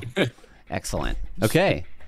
So we pretty much want to keep everything uh, that a rat normally has, but then we want to script the ambush on it, right? So do we change anything else here? No, um, it actually. So just just click back and forth between the, Yeah. the rat we copied from and the new one, Yeah, yeah. and we'll just make sure it actually did set. yeah, does and you can see even the draw parent has been set. That's something I worked a, a long time on to read the collision the the player's currently standing on and assign that properly as the draw parent as well. Because if you're if you remember, Right. Oh, yeah, yeah, Um, yeah. you It- have it- to be standing on that draw parent. Yeah. Yeah, that's basically a. a is it a plane or is it like a box? Is it a, a trigger box? Well, the draw parent can be anything. It's just saying draw this part if my draw parent is drawn. Right. Uh, in this case, the draw parent usually is a collision because the collisions are drawn based on their distance from the player in a rough way. It's actually a very manual, handcrafted, painstaking way, but generally speaking. So the, this collision is standing on collision 31, and it will be drawn as long as collision 31, which is yeah, basically just a plane with a rough wall and floor shape uh, for just detecting what, what, what you're standing on, Right. not And- letting you walk through the wall. Yeah, and so what it is is like it it it is set up such that if player is in this region basically, then draw this because otherwise don't because we want to save on performance. Is that correct? Exactly. Yeah, it's all based on these draw groups and display groups. So there's like it's doing a set union or intersection check, and it, you know anything that has a draw group that is in the current display group we draw drawn. It's a nightmare, and you know it's not until you get into a big map mod like Nightfall that you really have to grapple with your Yeah. own uh, existential nightmares. But um, in this, just for characters, yeah, just setting the draw parent to the collision they're on is 99% of what you need to do. Okay, cool. Are you guys doing um, you know, uh un- underpowered PC o- optimization tests for Nightfall? That's a good question. With yeah, we're kind of just running with it. Yeah, we haven't run into any, you know, platform-specific performance issues yet, but that is something we have to do at the last second. But you know, I am when in all the map work, I am not being too aggressive with it. Sure. Because you, could just enable all map pieces at all times. Dark Souls Remastered is such an, you know, an underpowered game yeah, yeah. for modern standards that you can get away with it. But definitely worth checking. Okay, Okay. so there's one more thing we have to do here, which is assign an entity ID to this rat, because otherwise oh, we yeah. have no way to communicate with it from the event script. Okay, so And- normal enemies that are spawned that just sit there, they don't need an entity ID at all. Yeah, if they have no entity ID, it really limits what other parts of the game can interact with them, particularly the event scripts. Okay. All right. And you can see all the Gravelord Phantoms have IDs because they are all manually handled in the event script. Oh, I see. So we need to find an unused ID.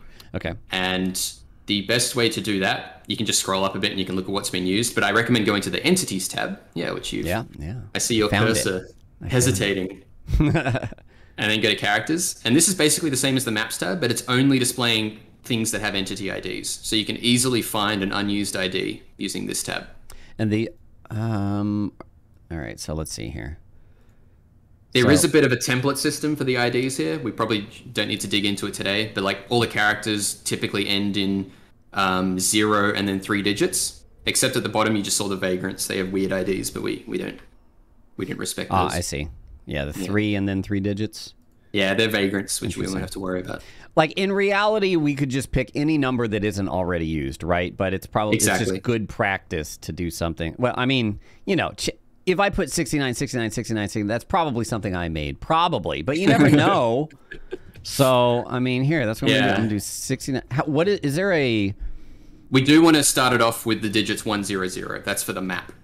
Just like the event flags, there's kind of a template system that tells us. I have actually I don't know which event which event IDs are legal because there are, there is limitations Oh, on what flags you can choose. That's what I was going to ask. Like, if there's, Yeah. you know, size limitations or whatever. So we can just, like, go down and. These are the vagrants, so they got weird numbers, but we can take, like, the last, the highest one here and then just maybe add. uh Well, I guess it's 960. That's pretty high.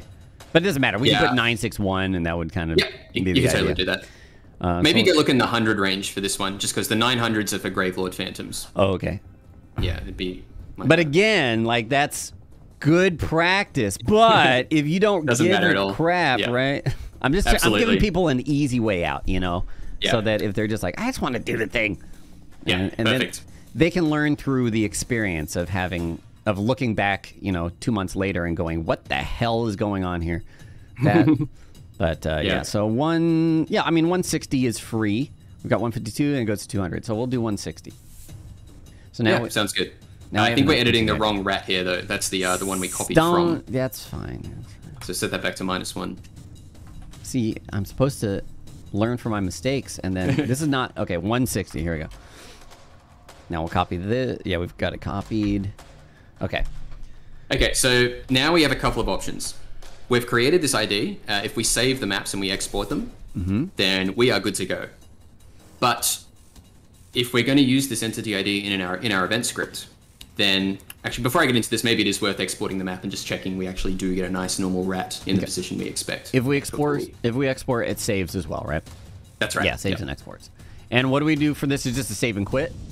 Just just save and quit and reload. Okay. No need to quit the game. No. And remember, because we're in the debug, when you save and quit, you're actually going to go back to the default position of the map. But that'll be a good opportunity for me to show you another cool debug feature. Okay. Oh, so save and quit takes us back to the debug menu. Interesting. Okay. Yeah. Should I You load can in start. The Yeah, just load back in, uh, and you can you can kind of get out of debug mode and start a proper playthrough, and it will you know do saving and everything. Gotcha. But uh, if you press the back button on your controller or the equivalent, whatever you're using, yes. Then you will get the debug menu. Mm-hmm, mm-hmm. And you can use the arrows to navigate this menu. So go to game. That's where almost everything you want is going to be in. Okay. And then go to character inspector, the fourth option. Okay. Then go to world character manager. World character manager. Uh huh. And then go to yeah, map 1000. So you can see other maps that are loaded here. We're close enough to Undead Burg and Firelink Shrine for those maps to be loaded. Gotcha. But we want the depths map. Oh, and then we look for our ID. Or Exactly. And you can scroll quickly by holding L1, I think, uh, off the top of my head, to, if you want to quickly Oh scroll. yeah, Lobo's bamboozle rat. There we go. It's, There you go. good that we didn't give it a ID name. So, So yeah, go into that. okay. And then scroll down, and there'll be an option that says warp to this Ah. position, or move position to this To this position. position. There you go. All right. So I'll back all the way out of here. There we go. Yep. There's our rat. That's Lobos bamboozle rat. Yep. And we can check the AI works. Give him a little love tap. Oh yeah, love tap. 'cause, does. Uh, we didn't. He worked. Perfect.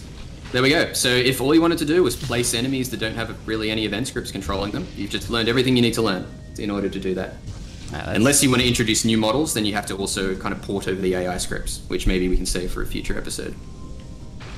Uh, yeah, and um, I did want to mention that if you guys didn't watch the other episodes, there was one where we dove into Map Studio, which is another tool. If you were a very visual person, you basically get a 3D world that you can kind of you can no clip fly around, and you can duplicate things that way as well, and have that save out, and uh, that that makes it even I would say easier if that's all you're doing, right? But because because we might be doing a lot of other stuff, Soulstruct is nice. It has a whole bunch of different parts in it, so we can link to that.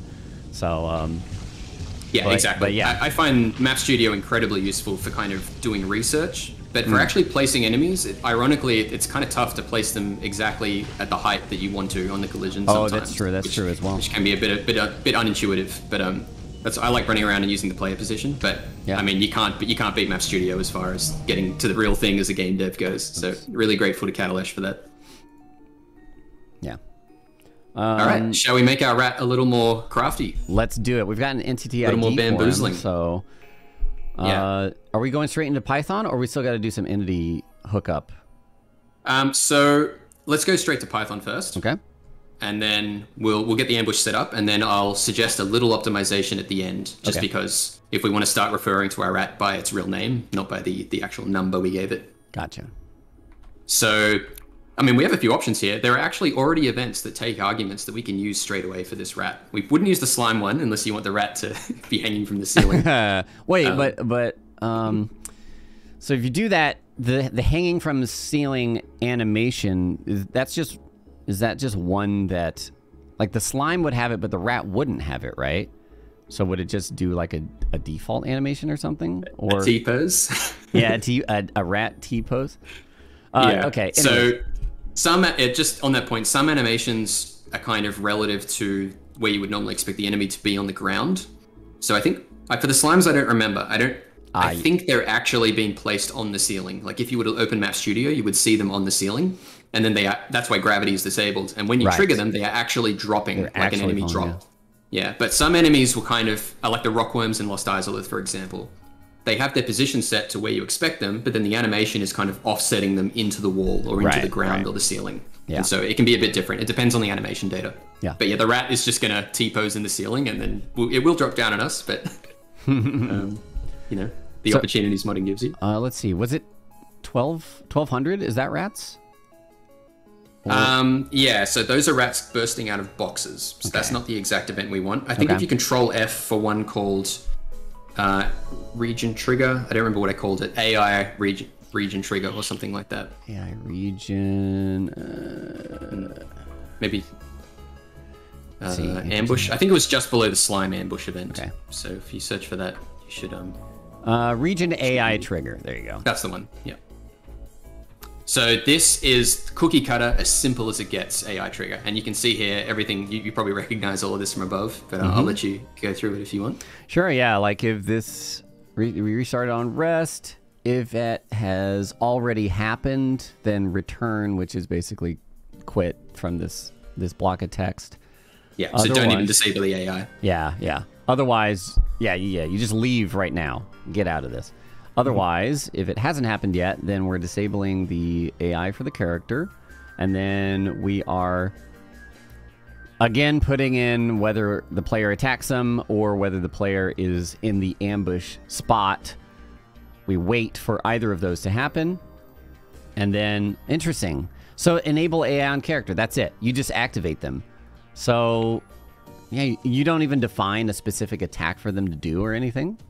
Uh, we probably would want to in this case because Okay. we do Uh, want I the see. rat to kind of lunge straight away. This is used uh, just to to limit the trigger range for the dogs and the hollows in the upstairs butcher region. I think. Okay. but it is a great it's a great example of the easiest way to just you know have an enemy kind of you control the enemy's AI a bit more in a hard coded you know or handcrafted way rather than just relying on distance or hearing and things. Right. Right. But yeah. So I think we'll basically copy and paste this entire event. We'll give it a new new ID, Okay. and then we will add an animation argument that we can use. All right. And then what's what's comments in Python? Hash. Any line that starts with a hash. Hash. Okay. ignored. So then I'll just say like, um, this is for the rat ambush. Uh, I would actually, if you have information about it, put it in that doc string. Uh, you see that gray text between the triple quotes. oh yeah. Okay. Yeah, that's a function doc string. By default, it just says the event number. But yeah, if absolutely, if you have any Hmm. okay. anything you want to Added for custom tell the world, rat debate. There you go. okay. there you go. So now we want to change the flag that this event uses because we don't want to reuse 5200. Mm-hmm. And just like with the entities, we're going to have to go and find an unused flag. Okay. Now I've documented all the flags in this. So if you control click on that region AI trigger flag name, Uh, uh, yeah. The event. Event underscore. no, not not the No. event, the actual flag, the flags dot region AI trigger. Okay. Yep. Yeah, and you'll be able to see all the flags and the names for them that I've put, you know, in the depths here. And just like with the entities, this is a quick way. I've organized these numerically, as far as I know, so you can find a flag that hasn't been used, and that can be the ID for your new event. And depending on whether you want this to be saved and be a real one-off thing, you could use an event ending in not 5,000 and something, or you Right. could you could end it in yeah 5,000. So, and because we're basically just doing a duplicate of this, I'll probably just make it one more than than the one that was already there. And we can- Almost. We don't actually want to make Oh. it one more because if you remember, all the slots that the events will use for that might actually use those flags because plus one, plus two from that event. Oh, okay. Yeah. So then, it, that's 10 one of the more? trickiest parts. Yeah, ten more is probably safe because I don't think the first one's being used ten times. Okay. But you can always check. You can go and look at all the different calls to that event in the constructor, and you can yeah see which slots are used. And those slots kind of represent flags that are secretly being used. Hmm. Mm-hmm. Mm-hmm. Yeah. But yeah, 210 I think should be good to go for us here. And we would just want to give a new name to that so we can call it. And and you said um, ors are m- minus. Is that right? And then ands are plus.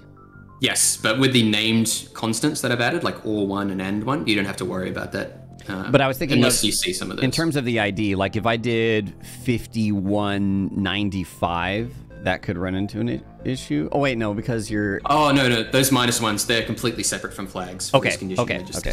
Yeah, I got you. you'll never see like negative from an event. It's only plus. As far as I know, I don't know what happens if you use a negative slot number.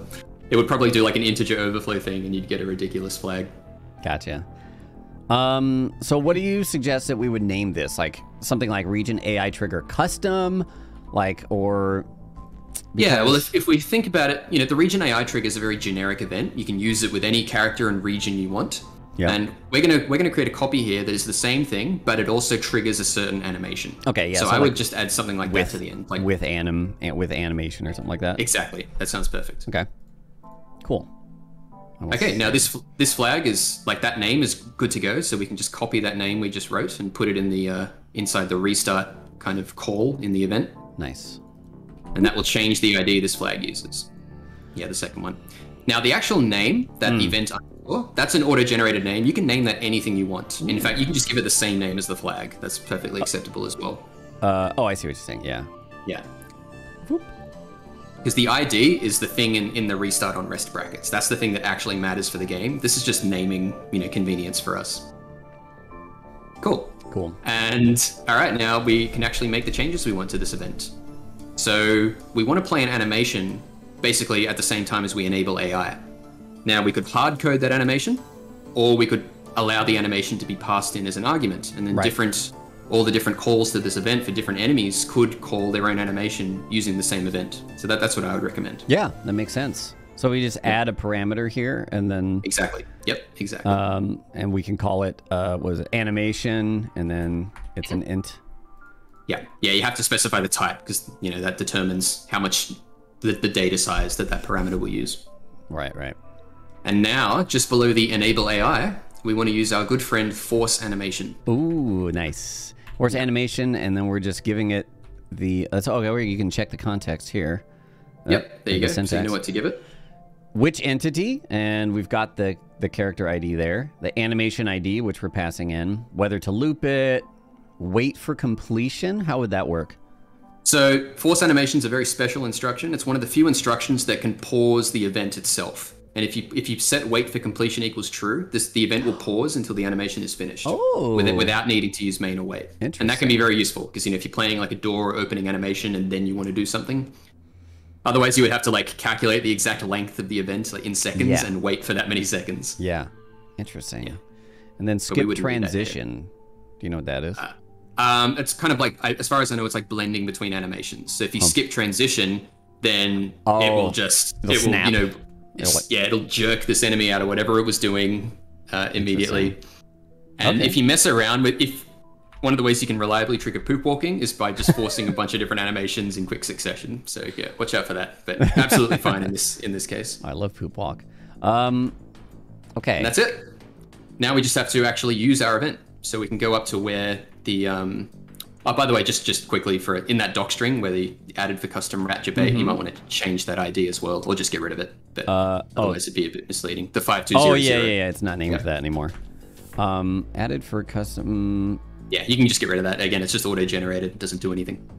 I'm gonna make this a little more specific. Uh, whoops. Upon ambush. Now I'm getting uh, an error with this uh, parenthesis here. Um, does it require more arguments or Uh, just can you hover over that? What if you hover over the where the little underscore is? What's it saying? where the little underscore? Wait. Uh, yeah, over the bracket at the end where where the Yeah, little yeah, yeah. Where the error is. yeah. Parameter entity. Yeah, so I have to fill in these. Wait, parameter entity unfilled and Hmm. animation ID unfilled. I'm, I suspect this is a bit of a false flag error. It Yeah. shouldn't actually matter.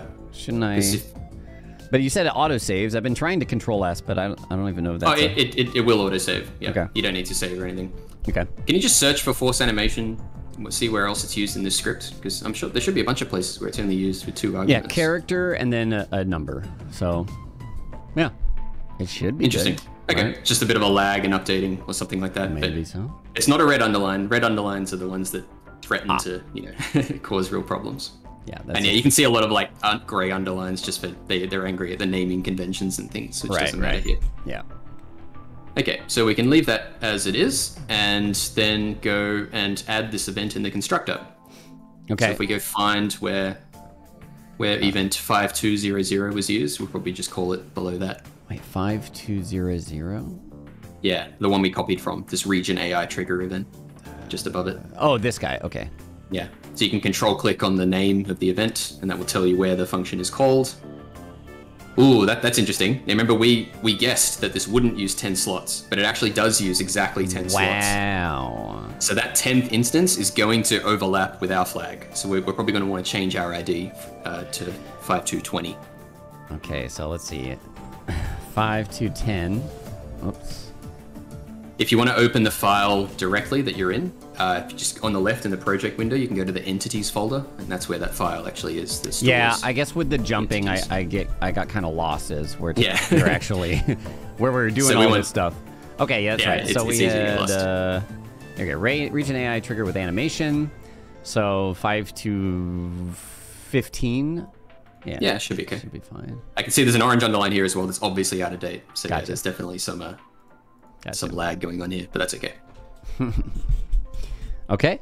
That and that's the the beauty of you know storing flags in this file and then using the name is that you can change the ID anytime you want, and you only have to change it in one place. You know, if we were to use that flag by its number, we would have to you know find and replace all, and you can run into easily you can easily run into problems there. So Gotcha. So that's why we, we put it in a separate file. yeah, so this all runs at the the start of loading the map, right? So that That's these right. all events exist, and then we can. Oh wait. Yeah. So I don't think we I think we really briefly mentioned that last time. Uh, so we have two very special events, events zero and fifty. Event zero is the constructor. That's the main event, and its main purpose is to just run all the other events in the file. And those events will not run unless they are run in the constructor. Or the pre-constructor, which is event 50, and I think they added that at some point because they realized that they wanted a way to guarantee some events to run before others. And so uh, event 50 we call the pre-constructor, and that actually runs before the constructor. And usually that contains code that manages NPCs in the map. Gotcha. And I think I think it does lead to a difference because you know you know like the famous um, if you save and quit in Firelink Shrine where Anastasia is, you can actually see the item drop briefly and then Yep. it fades out of existence. Yep. Yep.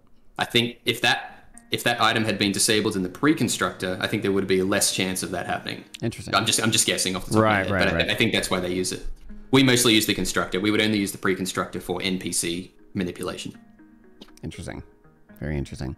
Okay, so I've got the uh, the the function here that we're going to be defining, or the constructor here. So we need our character ID. Wait, first of all, we need A slot, a which just slot, means yeah, which was yeah Zero. zero, and you just work your way up as you do more stuff with it. exactly. Nothing special about the slot. It just indicates that it's a separate instance. Yeah, like they do. Okay, so then we need character ID. Is this something we should go to Soulstruct to do? I, I guess so. Uh. Or This is yeah. So this, I was going to talk about this Ah. um, a bit later, but yeah, we can just copy that entity ID straight into here, and that will be the character. okay, And then I think once we get it working, we'll want to optimize a bit by making that uh, character a variable as well, I see. I see. just like the the flag variables. And then uh, what else did we pass? We passed an animation to play, right? Uh, first, we need a region, which we haven't actually added yet. So Oh, I think we'll want to. that's a It might point. be time to do that. Okay. So, So we'll, we I'll jump just back put into the game. region, and then I'm just putting this for. I think we need an animation, right? Yeah, that's right. The animation you can put in, uh, we can start off with just attack 3000. That's like the basic attack for most enemies. Just 3,000. Yeah. Okay. All the attacks are in the 3000 range generally. Interesting. Okay. So we need to create a box. At, at which point, when the when the player walks into this box, that's when the rat activates, and then he's going to play this animation, and then his AI is going to take the rest of the, you know, it's going to take over, and then he'll just do his normal attacking. Exactly. So, are we going to use the player position to find this? Mhm. Okay. Cool. Yeah. So, So we're going to jump in and go stand where we want the region to be. And then this is, pro- you know, now that we're kind of placing regions, it's a good time to get a sense of how large the units of distance in, in the game are. Because we're going to Ah, have to yes. specify the size of the box as well. This is nice. It looks like the the menu remembers like what your last did. So oops, Yes, it that. did. It's super useful. So you can also enlarge the menu and you can drag it around if you hold different keys as well. I don't remember what they are though. Like the right stick or something in R2. Okay, where's our debate rat? There he is, Lam- Lobos's bamboozle rat. And we want to move position to this position. Boom. And there you go. So we're at the rat. So basically here. They're usually a little like generous, so you can kind of trigger it before we- you're actually there. Exactly, which um, makes sense. yeah. you know, if, you're running, then you're going to be kind of intercepting the rat, ideally. Mm-hmm, mm-hmm but yeah, mm-hmm. this this is a good starting point. We can obviously finesse it if it doesn't end up being perfect. Sure. So yep, we're standing here. Just jump back into Soulstruct, and we're already hooked into the game, so we don't need to do that again. Right. Um, if you, you know, sometimes you'll forget that you restarted the game or something like that, and you might get an error if you try to set the position. Usually, you just need to go and rehook the game in the runtime tab if Okay. Okay. Runtime rehook. Got it. I found regions boxes. Is that what we're doing? That's exactly what we're doing. Nice. So yeah, uh, if you want, you could make it a sphere or a cylinder if you want it to be really cool and like non-mainstream. but yeah, box Nice. easy, bit easier to control the box. Is it more? Is it more performance? More of a performance hit to use the spheres because it's you know. I have no idea. I assume the sphere would be the cheapest uh, computationally because it's basically a distance check from the center of the sphere, right? But um, I'm not sure. Yeah, I I highly doubt it. Yeah, Okay. All right. they almost always use boxes. Sphere is cheapest. There you go. Um, okay, box. So we've got a whole bunch of triggers here. We've got slime ambush triggers. We've got giant rat turns back. Interesting. Yeah, there are regions that uh, the Giant Rat's AI references.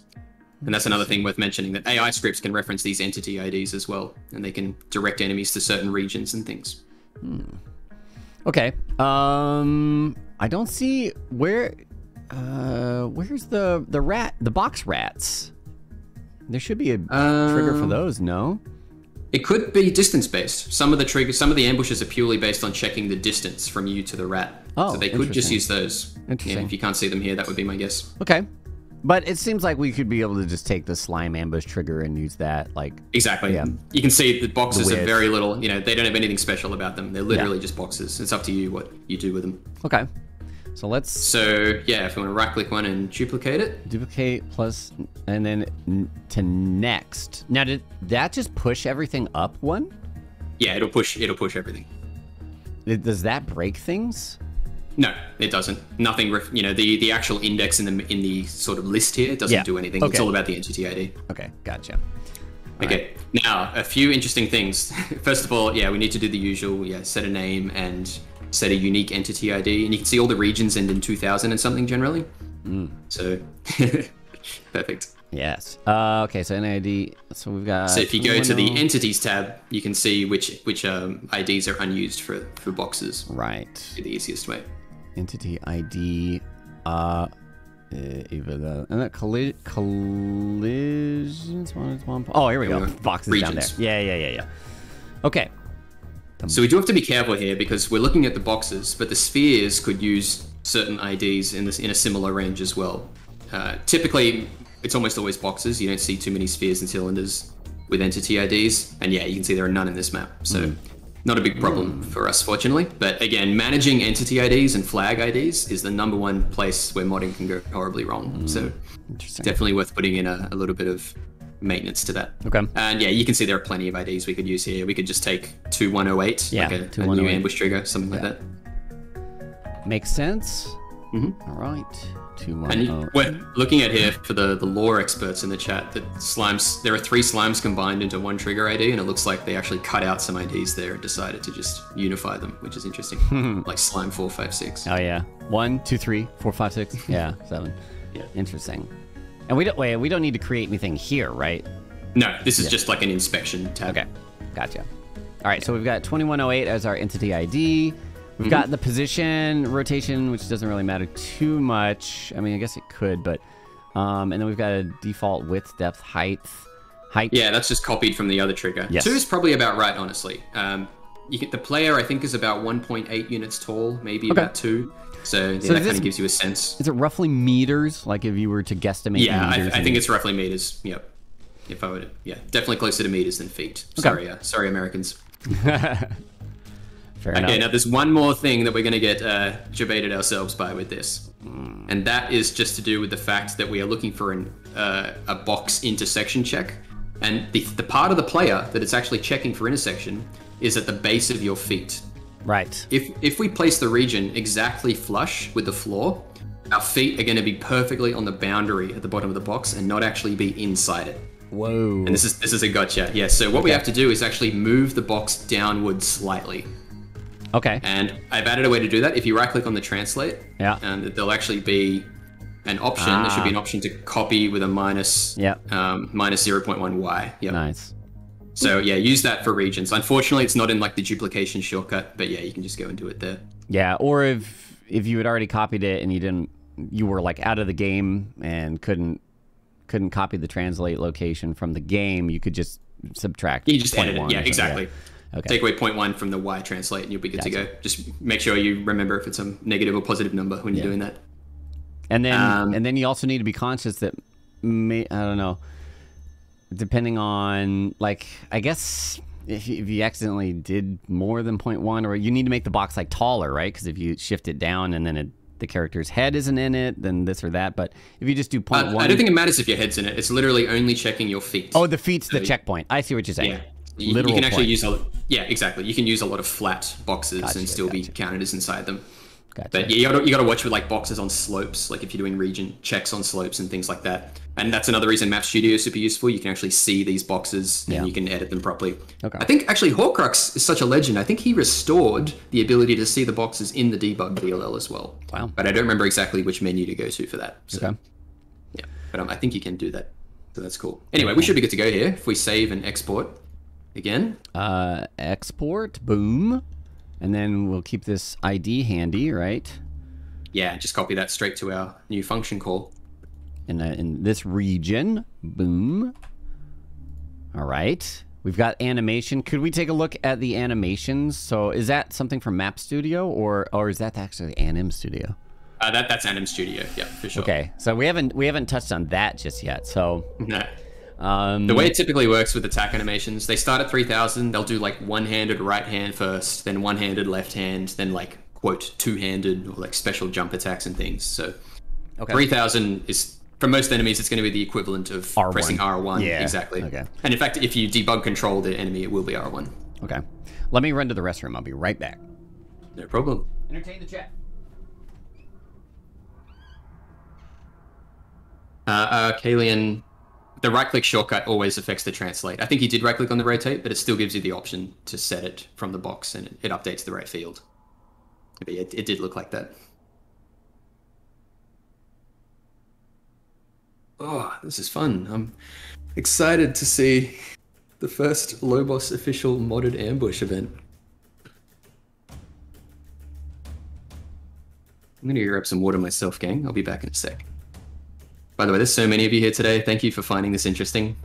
It's really awesome that so many people are happy to watch a couple guys just add a rat that bamboozles someone in a basically forgotten, hated map of an old game. That's really awesome. I'll be back in a minute.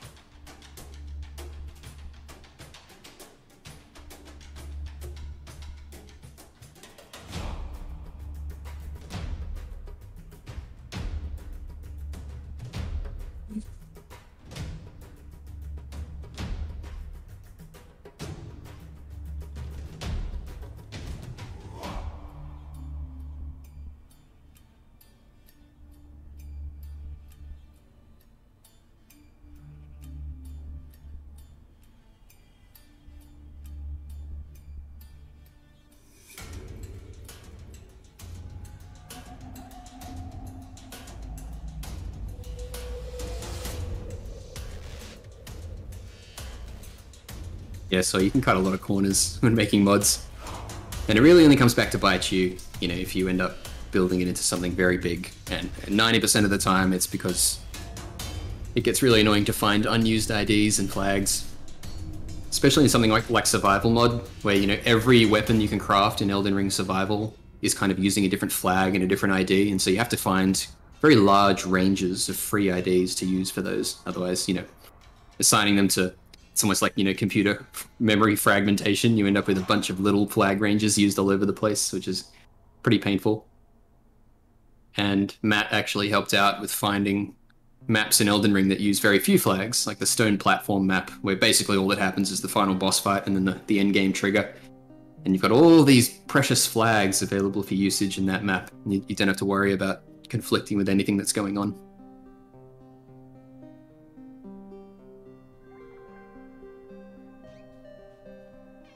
Yeah, I haven't actually looked at Map Studio in a while. I'm really excited to check out any updates for it that have come out recently.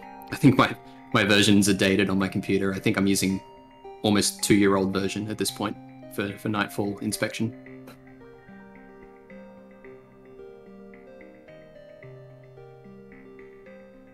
I do, uh, Zion. I um, you know, it's good to, and Matt's the expert at this. He has scripts that will go through all the event scripts and check. You know, he'll find every single entity ID that's used, and you can tell which numbers are entity IDs by how they use these arguments. And you can actually make a complete list of all the character IDs, all the region entity IDs, and so on in the game, and you know, put those into a big list and make sure you don't conflict with that list. It's actually easier for Nightfall because the game is such a complete remake. Uh, you know, we're basically erasing everything that already exists and we get to start from scratch. And Soulstruct has some pretty deep features that are basically only used by me right now, but you can you can let Soulstruct auto enumerate those IDs for you. So if you just have a list of enemies and you, are adding more enemies later, you're using them as entity IDs, you can just uh, set them to auto, and then they'll be assigned an ID when you export your your game data to the to the game, and then you'd never have to look at an entity ID again. It's been working really well for Nightfall. The one drawback is that it doesn't handle AI scripts, so you do have to still use the numbers in the AI scripts, and in that case, you'd probably want to hard code those because otherwise they might randomly change if you add more, you know, auto enumerated things. So a lot you can do with it, but yeah, finding ways to make things easier for me often ends up with what specifically would make a big mod for DS1 easier. And it's only doing these lessons with Lobos that's finally motivated me to add a lot of quality of life stuff to this event scripting. I think almost everyone who does event scripting, I know a lot more people use Soulstruct than they used to, but it is a bit harder. You know, there's a larger barrier to entry for it, especially if you're not familiar with Python compared to DarkScript, which is what a lot of other modders use. If you want an all-in-one tool, it's an executable. You know, it decodes the game event scripts into a similar script format to this. You know, line by line with named commands and named arguments and things uh, in more of a Java C sharp style syntax that I, am less familiar with. Um, but yeah, all the same principles, just wrapping your head around the idea of using conditions and building up condition groups and waiting for things to be true and not stepping on the toes of any other IDs and things like that. So if you want a, uh, an editor that, you know, doesn't try to do as much as Soulstruct does and is definitely faster, a little bit faster when you're exporting and importing files, then you can give DarkScript a try as well if you've used either of them, the other one will seem very familiar. It's just that, you know, some of the instructions have different names, basically.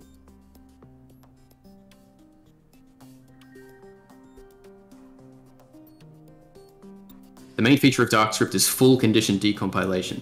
It's somewhat underused. Yeah, it really takes a, a big ambitious mod to test that, um, those kinds of things. But I'm with you, Matt. I love coding this stuff. I know you did awesome decompilation things for EzState scripts, which we might look at here in a, about a thousand years or so. We'll be up to the point of editing ESD scripts. Ooh. You never know. That sounds exciting. You heard nothing.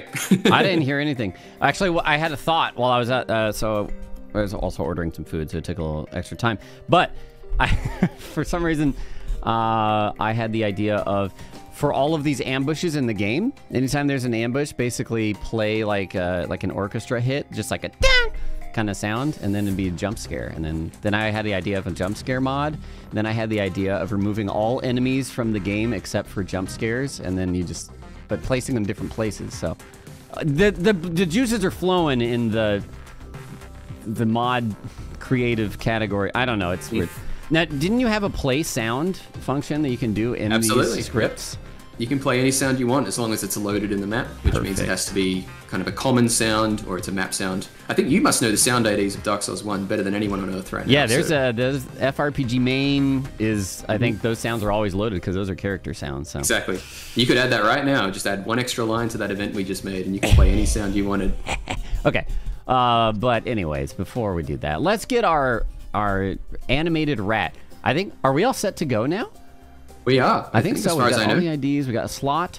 We've got the So character we- ID. We've got the region box Mm-hmm. defined, and we've got an animation to play, which should just be an R1. Uh, yeah, it might not be the perfect lunge attack. It depends on the Yeah. rats, but It's we can probably just going to do this, and and we can we can watch him do it. Um, We'll know if it works at least. Yeah. So, uh, so this is So all we need to saving. open Soulstruct. Yes. Yeah, this the text file is being saved. We just need to use Soulstruct to export it to the game. So if you go to the Events tab, all right, and right. we're on the right one, which we should be. Export event. Just click Reload and Export. You want to reload and export down the bottom. Oh, okay. And we, To we need to go to refresh the depths text. and then reload and export. Yeah. Yeah. Okay. All right. Let me just see. Uh, uh, uh, uh, uh, with animation, right? Oh, it's uh, with anim. There it is. There we go. Can, There we go. Yeah. Okay. Yeah. Nice. Okay. Cool. So and the good. fact that, you know, even though uh, PyCharm's a little delayed in underlining syntax, but the fact that that worked tells us that there should be no issues with the arguments or anything like that. Gotcha. So, yep, all we have to do is uh, restart. Now, we want to be careful here because we don't actually want to teleport all the way to the rat, uh, I guess, to test Right, out this ambush. Yeah. Very true. So, well, although we zoom could there. we could test it from the back, right? And then that would allow Yeah, that's true. Because its AI will be disabled either way. And we can see its its animation better that way, I think. So, did I just save and quit or no? I Yeah, there we go. Okay. I think you did. Oh, I see. And then I was mashing A, so it just loaded back Yeah. in. That's that's what happened. So, Yeah. yeah, let's teleport back to the rat. Let's see if I remember how to do this since it's not Oh, wait. Oh, wait, it's already kind of in there. Oh, anyways, move position to this position. We're going to be on the rat. Uh, get out of here. All right. So, we have roughly a two by two by two bo- uh, box there in that entryway. When I step there, rat should attack. Yeah, there you go. So Amazing. yeah, fantastic. And he did a little R1. Yeah, it's not the jump. Um, so, and w- with how this works, you would need to, you know, face him correctly so that he and and position him so that his attack would end like where the the player would be, and all that. Yeah. So. Um, Yeah. Yeah. So we could set its position, you know, its current position might be more suitable for that animation. Or we can actually, I mentioned Anim Studio, but we can use debug mode to test out all the different animations as well. Oh, oh, well, I just killed him, so. Like, well, rest in peace. Is there a way to respawn enemies from debug mode? No, I think I mentioned last time that killing an enemy is a very permanent thing. Uh, Damn. Unfortunately, Jeez. until you reload the game, just because, you know, it triggers the ragdoll and everything. Well, here, I can, uh. Oh. We can do it on a different rat. Oh, they, yeah, we don't have Dark Sign by default. But yeah, we can do a different rat. So let's see. How do we do that? Uh, so, yeah, if, if you go to the character manager in the debug, as you scroll through the list of rats, this one will actually be highlighted in the game when you go past it. So that's the easiest way to detect which one it is. Oh. And we know it'll- it'll be a- ah, Okay, I see. Uh, uh, there he is. We got him. So if we select that, and you can go down to Animation? uh, yes, animation. Debug play speed 1.0. Uh, okay, bones and anime. Anime, rat anime. I am invisible to enemies right now, yes. That's something we set so that we could just run around and play stuff. Uh, skip amount of movement recorded. Anim slot log. Oh, I'm trying to remember where it is. I feel like I, I haven't haven't done this in a while. We're moving. I think actually I don't think it's in the animation category. I think it's Okay. in the easy state menu. If we if we back out of this. Oh, back out? Okay. Yeah, and then yeah, go down to. Oh. How far are we backing out? Oh, All sorry, no, in, in in the inside the rats menu. Ah. I was a bit delayed. Rat? Just not in the not in the animation menu. Let's see. Event, AI, animation Havok. Animation, uh, good, good, sorry. Easy state. Action request number. That's the one. Yeah, Okay. I think. Uh, no, actually, that's not it. Uh, maybe not. Not. Special No. effects. Do modders know in the chat? Uh, Feel free yeah, to someone might remember where it is. AI Apply multi-doping? Oh my gosh. We're gonna dope this rat up, dude, multiple times. That's for multiplayer uh, boss buffing, Ah, I think. less exciting, but all right. Switch I'm just gonna control. boot up my own game. We can Oh, just we can just control the rat. the whole time. I might be able to find it through muscle memory alone. Here, I'm I'm just controlling the rat now. All right, so there you go. well, there you go. You Yeah! can test out. The R1 is that. What's R2? Okay, that's probably the one to use. Yeah, So you can see the ID. Uh, if you go back to that animation menu, it will tell you which animation is currently playing, and you can actually get the ID out. Oh, interesting. Uh, let me un take control of this guy. Where was that? Switch control, return control player. There you go. Okay, let me view him. mm-hmm, mm-hmm. Um, no attack, leech effect is walking able. Net ID. Uh, let me see. Did anybody respond about where to make him animate? Because I think, let's see. What about no draw? No. That's just visibility, right? We would Yeah, I don't think so. SFX variations. Ooh. Character basic info, look angles, mm, character IDs, invade type. Uh, oh, Havok. Other menu creation. Hmm. A couple people said try Havok. Oh, there's ten things here. Rag. Oh, Have a there's- look in Havok. I don't think it was Havok there. Switch. Havok character. Slope falling speed. There's a lot of yeah, like physics stuff. Debug draw normal, no. The floor hit duration system. Action? No. AI. Animation mediator? Upper attack. All these anim IDs. Hold on. Upper attack. No, I don't know about that. And other, press A. Oh, on the only menu option, I'll make a bunch more. It might be in there. It is somewhere super obscure. Disable head, action floor, material ID, bunch of resistance stuff. Objects can be moved on. Action material back up, back up, throw animation ID, back up animation offset, back up force change target, map and disable the special attributes, damage direction, damage level. fine, I'm glad Meowmaritus is not in the chat. He would be very anim, uns- anim test. Anim test. Uh-oh. Here we go. There's- Yeah, that's what we want. There we go. Wait. So yeah, you want to get that up. Uh, you can hold down some of the shoulder buttons to scroll through those numbers faster. Oh, right. We want like 3,000, right? Yeah, exactly. Ah, okay, okay, okay. Here we go. Yes. Uh, there's another one you can hold that increments by 100 at a time. I think. Yeah, it might Oh. be two at once if you hold two shoulders, uh, I think I had it going. or it's square. Maybe hold square. What is it? you can definitely go faster than that. Just hold everything. I'm trying Hold different. Oh, oh, it is square. once. It's square by itself. There we go. There we go. Yeah, it is Cool. square. Uh, okay, so three thousand. Oops, whoops. Three thousand should be just the R1 that we did before, right? There we go. Nice. Yeah. Oh, stop it! Stop it! He's looping it. Oh God, Right. there we go. There's, there's an animation the- loop request. No, Yeah, no, no, no. The There. one just below it, Okay, hold on. and then Hold on. just just request it one more time, and it'll um. Okay, he's Stop going. looping. He's going back. Go back, dude. dude. All right, whatever. Uh, Doesn't know what came over it. other anim No, no, no. Okay, at least doesn't loop now. Okay, 3001 is that. Let me. All right, here we go. This, this should be better. See what you got, buddy. So that's 3001. 3002 is.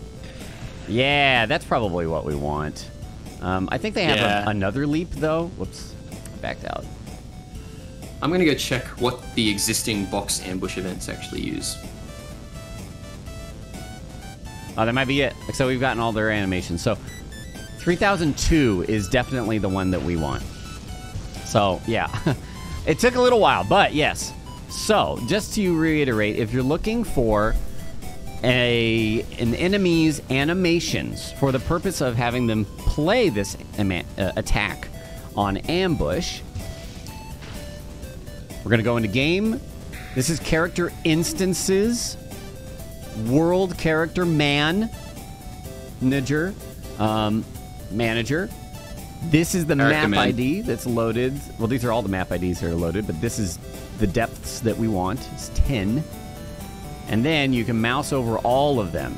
And once you once it highlights the one you're looking for, go in there, go into other. There's an anim test, and all the attacks start around 3,000 by default. Otherwise, you can go through thousands and thousands and see what happens. Probably nothing in most of them, like this. You'll get a lot of T-posing, and then you'll start getting a bit of poop walking, I think.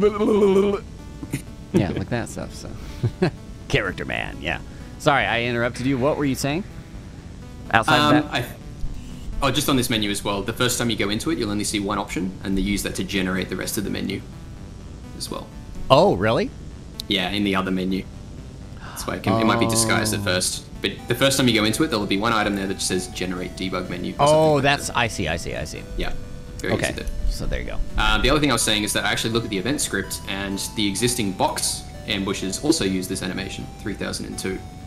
Definitely. Excellent. So we know we know we're on the right track. Perfect. Okay, so now we can go back and edit our our Python script over here, such that where are we? Region AI trigger with animation. That is the script block we made, and instead of animation 3000, we're going to do 3002, which auto saves. We go back here, we reload and export. And that's all you need to do, right? We don't need to. That's it. Yeah. Okay. And now when we quit and back go back in, I know it takes a bit. We're full screening, but yeah. Now we should have a rat that jumps forward as we enter that, but we can. um Yeah. Okay. Let's just uh, wee woo, run down there. Oh gosh, get through the window.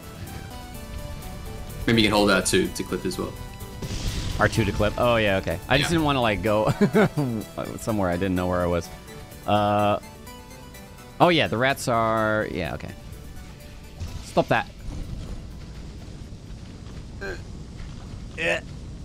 Yeah. Clip. Okay. Here we go. Here we go. La la la la la la la la. Ah! Rat got. I opened and I clicked Awesome. the stick. Um, he hit us. That's pretty good. You know, we're just walking through, and there you go.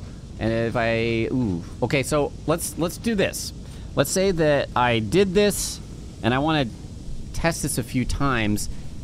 What's how can I convert this to a save file?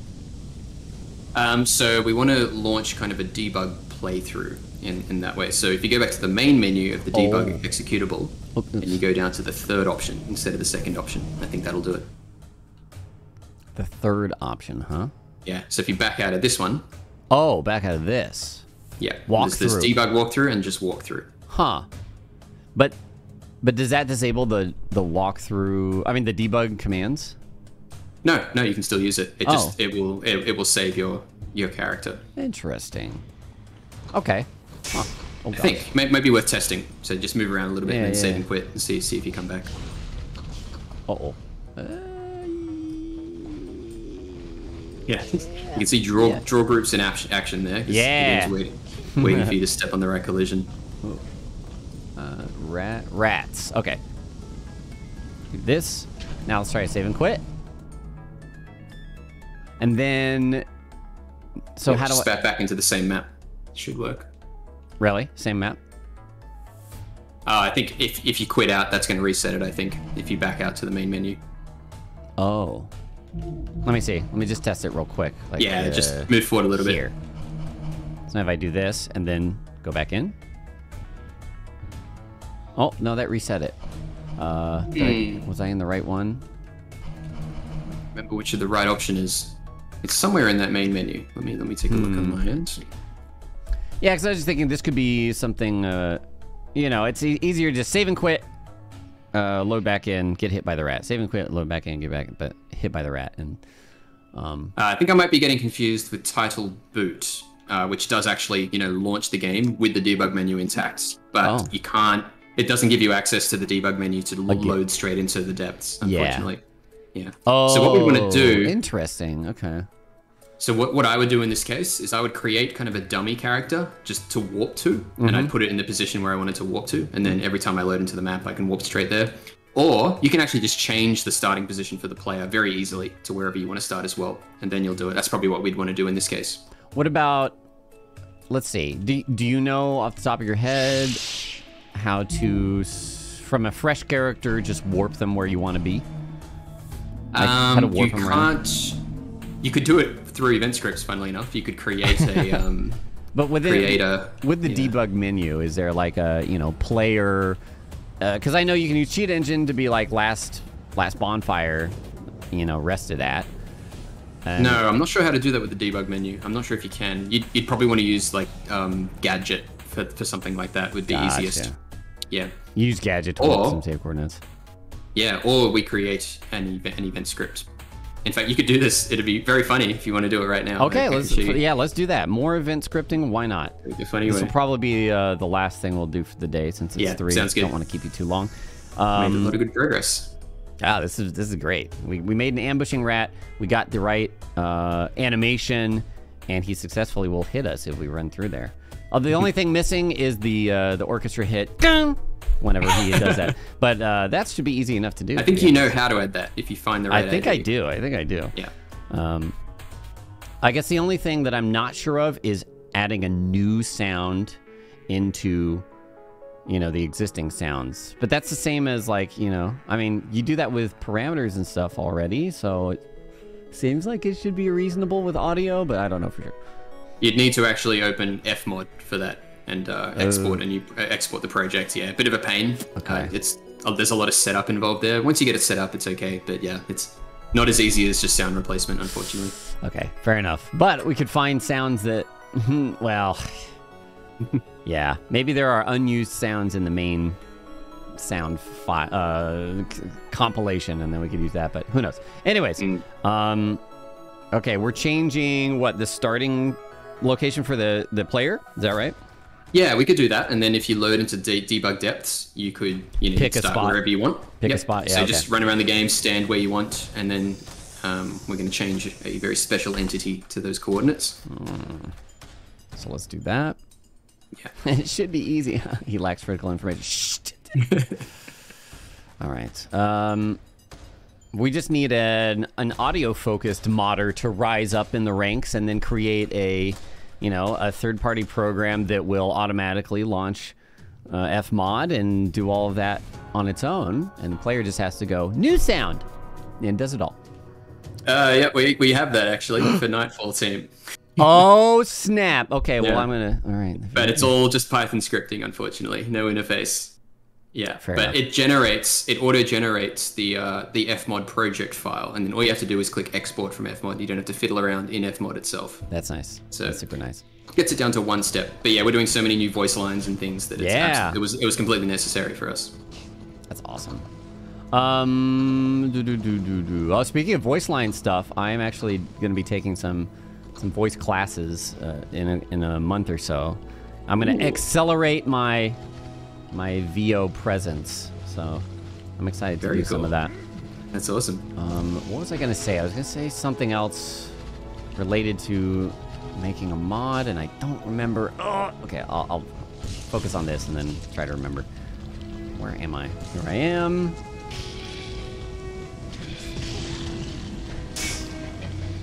There we go. Okay, so You made a few enemies on your journey there. Yeah, yeah, it's fine. It's fine. Okay, so yeah, if this is where we want to start, we can jump over to Soulstruct.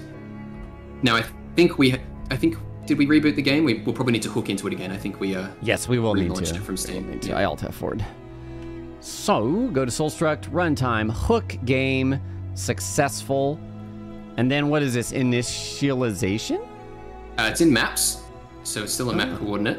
Any any data in the map has to be in the maps tab. Um, Okay. And we want to go to player starts. It's a type of part on the left there Wait. for the depths. Oh, player starts. Huh. Yeah. So that first one, these are like dummy player positions in the map.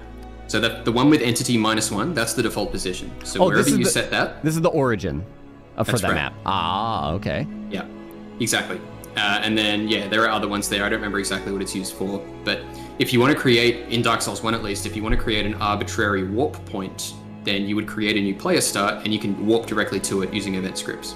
That- That's really easy to get around. Nice. Interesting. So, yeah, and so you- you could just yeah, do any, magic- any, any sort of check, and then if that happens, like if they walk into trigger box, then you just set a player start, or use a player Exactly. start to pick where they go. Okay. Yeah. And if you want, you want to add new, new connections, like in Daughters of Ash, for example, you know, there's a bunch of new warping around in that using these custom player starts. Nice. Yeah. Okay. So just do that, and then s- Mhm. export, and then that's, That's our right. that's our new start pot. no, That's it. So spot. every time you load into M10 zero from debug, you'll be in this position now. Okay, and is it just a save and quit to do that as well? So if we Yes. So it's very quick. Just save and quit, and then you can mash mash A, and you'll be straight back into depths. Very nice. Ah! Yeah, that's good. It gets you sprinting too. so now I can save and quit. We can test again. You know, this character's super high level and, and armored, so it doesn't hurt very much, but it's there. Waka! Yeah, stupid rats. No. But that's it. That's that's freaking Rat That's Ambush, ambush. 101. This was That awesome. ambush is that's complete. Yep. There is That's- literally nothing else to do there. Uh, oh, there is one little cleanup thing I would suggest, which is you know we have these ID numbers that we're using now for our new regions and the character. So we Oh. can actually add them to our list of kind of named entities, and then refer to them in the event script using their names, and I that would uh, save you I see. Yeah, the trouble let's, having to let's- do that. Let's do a little bit of that. Hold on. Uh, I think I can Alt F4 out of Dark Souls now, right? Yeah, I think I think, Full, I full think so. screening is. Ugh! Get no.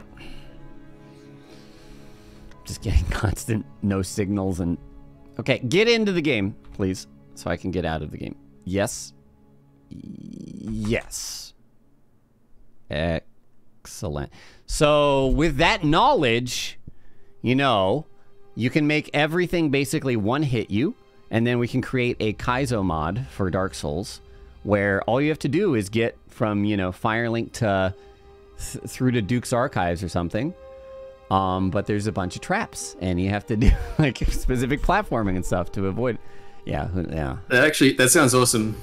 It And I think, sounds yeah, awesome, but then I, I think about it and I'm like, how could I make it fun and as well as just horrible? But okay. Um, all right, so what are we renaming first? So uh, we can leave these as they are. We just want to go into our Python scripts and Oh, add I these see. new entities to Define scripts. them, essentially? Exactly. Ah, okay. So let's say, um, oh, we could even define the animation, right? Well, I mean, it may Yeah. not be across the board, but Yeah, We, we could. You could create a new kind of enum class. So if you if you control click on j- even just the character enum right above that, we're two five zero zero. yeah. So we go over to the characters.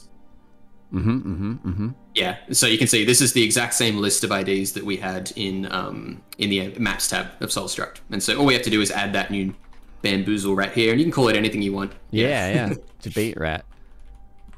Uh, this file was auto-generated from the maps data, so all of these will have the same name right now. But yeah, you can add whatever you want here, and there you go. Now you can just refer to characters.debaterat Nice. instead of instead of using that ID. So we can go back to where we wrote this, and instead of oh wait, oh no, we do want to. It's in the constructor. it'll be in the yeah, it's in the argument Yeah. for the uh, when the event is actually yeah, here we go. created. Instead of this, we do characters dot debate rat. Boom, there it is. That makes it Yeah. much easier to read. And then Yeah. this is the um the ID for the what's it called? The uh, my brain is It's a it's a box a box region. Oh, this is the region ID. That's right. Not the what's the other ID I was thinking of? Was the where am I looking? Am I crazy? No. The The oh, the ID. entity ID. That's the that's what I was looking for. But that's just It is- what yeah. we're passing here with the character. It is the entity ID of the region. Yeah. entity ID. And entity ID of the region. And yeah, okay. So then copy. So we can add that to the boxes enum, which is also you can control click to it just above it. Ah, I see. I see. Oops, that's Those names are directly translated. I don't know why they called the the slime ambushes hierarchy A, B, and C. Bait rat region. Boom.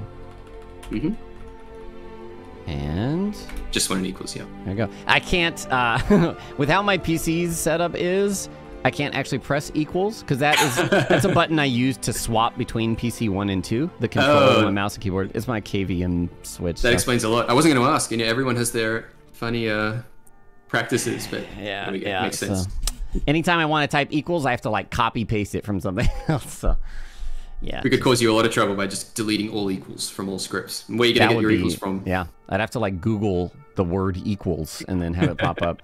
I've had worse. You know, I've had a lot of times where I had to pull open the, you know, the on-screen keyboard and like type stuff. This, yeah, I've got a lot of weird use cases. So, anyways, um, cool. So now, uh, Jabate Rat region boxes dot Jabate. Ooh. Uh, there it goes. Oh, wait, wait. When it comes. Oh, it is. Ca- yeah, it is very case sensitive. Okay. Yeah, these Debate rat region. real then- variable names. and then 3002, which it might not be the leap attack for everything, but we could do the same, yeah? And I don't know if you Yeah, have. you could. Yeah, you could create any. Uh, if you go look at the other script where the entities are, um, you can see they're all just inside these enum classes, which is Python, defined by. Uh, they they subclass from int enum, so they're integer enums. All you're doing is assigning names to integers. Control click. Yeah, entities, and then. So if you scroll up, you can see Boxes. the classes. So Yeah. yeah, you have these classes. Yeah. Um, that that generate next value stuff, by the way, that's uh, I mentioned this while your review were away briefly, but I have this system to automatically generate entity IDs as well. But it does take a lot more uh, kind of confidence in, in your whole project and what you're doing in order to, to start off with that.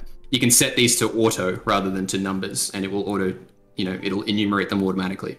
And there's a way to synchronize that with the maps data as well in Soulstruct, but I don't recommend uh, kicking off with that just now. Yeah, but just for a simple thing, we could do class animations, and then we don't need a. Oh, wait, I, I don't know the Python. You want to inherit from um, int enum in there. Oh, okay.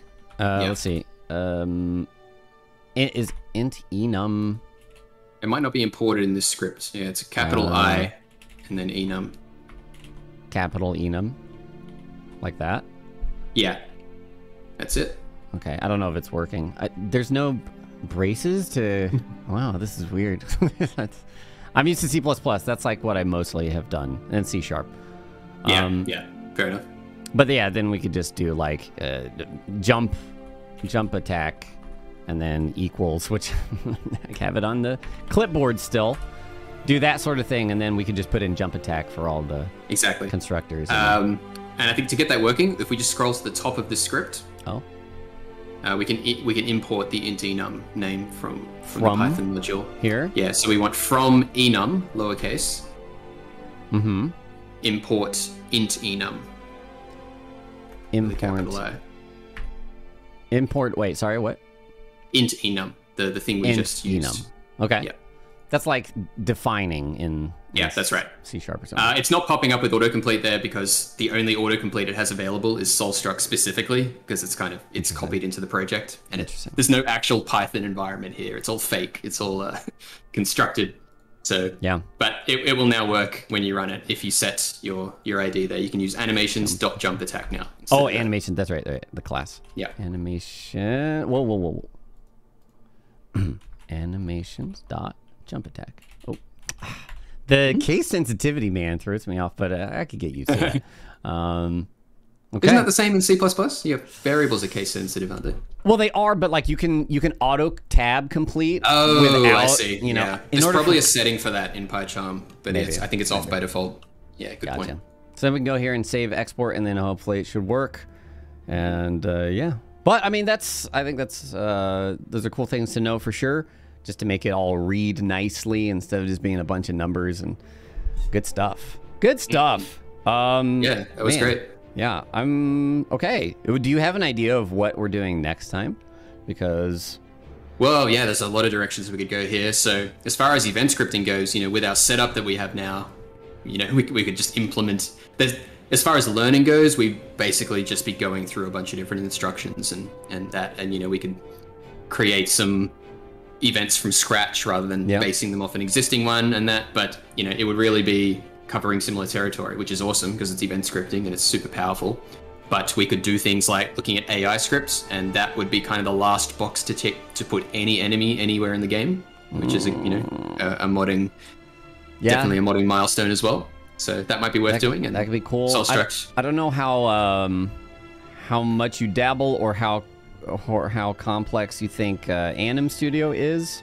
Um, Yeah, we'll we take- could do that as well. At that. Especially That's since we definitely know, worth looking at too. yeah, and since since we know how to force an animation on a character, like we could, I don't know, maybe use that to to do weird things. But the, Yeah, the you could test them options are the options are are endless. You know, it's Yeah, we can have a think about it during the week and uh, yeah, totally. yeah, see Totally. what happens. awesome excellent today. I hope you guys enjoyed that. That was a lot of fun. We we made a rat and we made the rat jump at us and hurt us pretty well too. And that was very you know we were learning as we went but now that i've done it it's like it would be very simple to set that up somewhere else. Like you could just do that pretty darn quickly. And now we've got the idea for you know kaizo dark souls that um would be uh, painful. But you This know is the proof of concept. yeah, and and the nice thing is you could be like, well, I don't have the time or I don't want to invest a whole lot into like the entire game, but you could just say like, you know, asylum and just do it with just the asylum map and you start the game and get get past the asylum demon, that's the final goal and then there's your mod or something like that. Exactly. That would probably be uh, the the appropriate size for a Kaizo. Dark yeah. Souls one. Oh man, and the thing is you could do you could make it so that you always respawn back in the asylum no matter where you died. So uh you know, you're in the kiln like I'm almost there and then you die and you go back to the asylum and you have to start over. Woof, rough. Okay. You do warp traps as well. Like if you you know step on the Oh, wrong no. tile, you get warped. You get warped to Lost Izalith or something. yeah. Yeah. Possibilities are Yeah. endless, but I was about to say exactly that. With event scripting, they pretty much are, and that, that's what's so cool. Yeah, very good. All right, thanks so much, Grim. Yet again, don't forget, guys.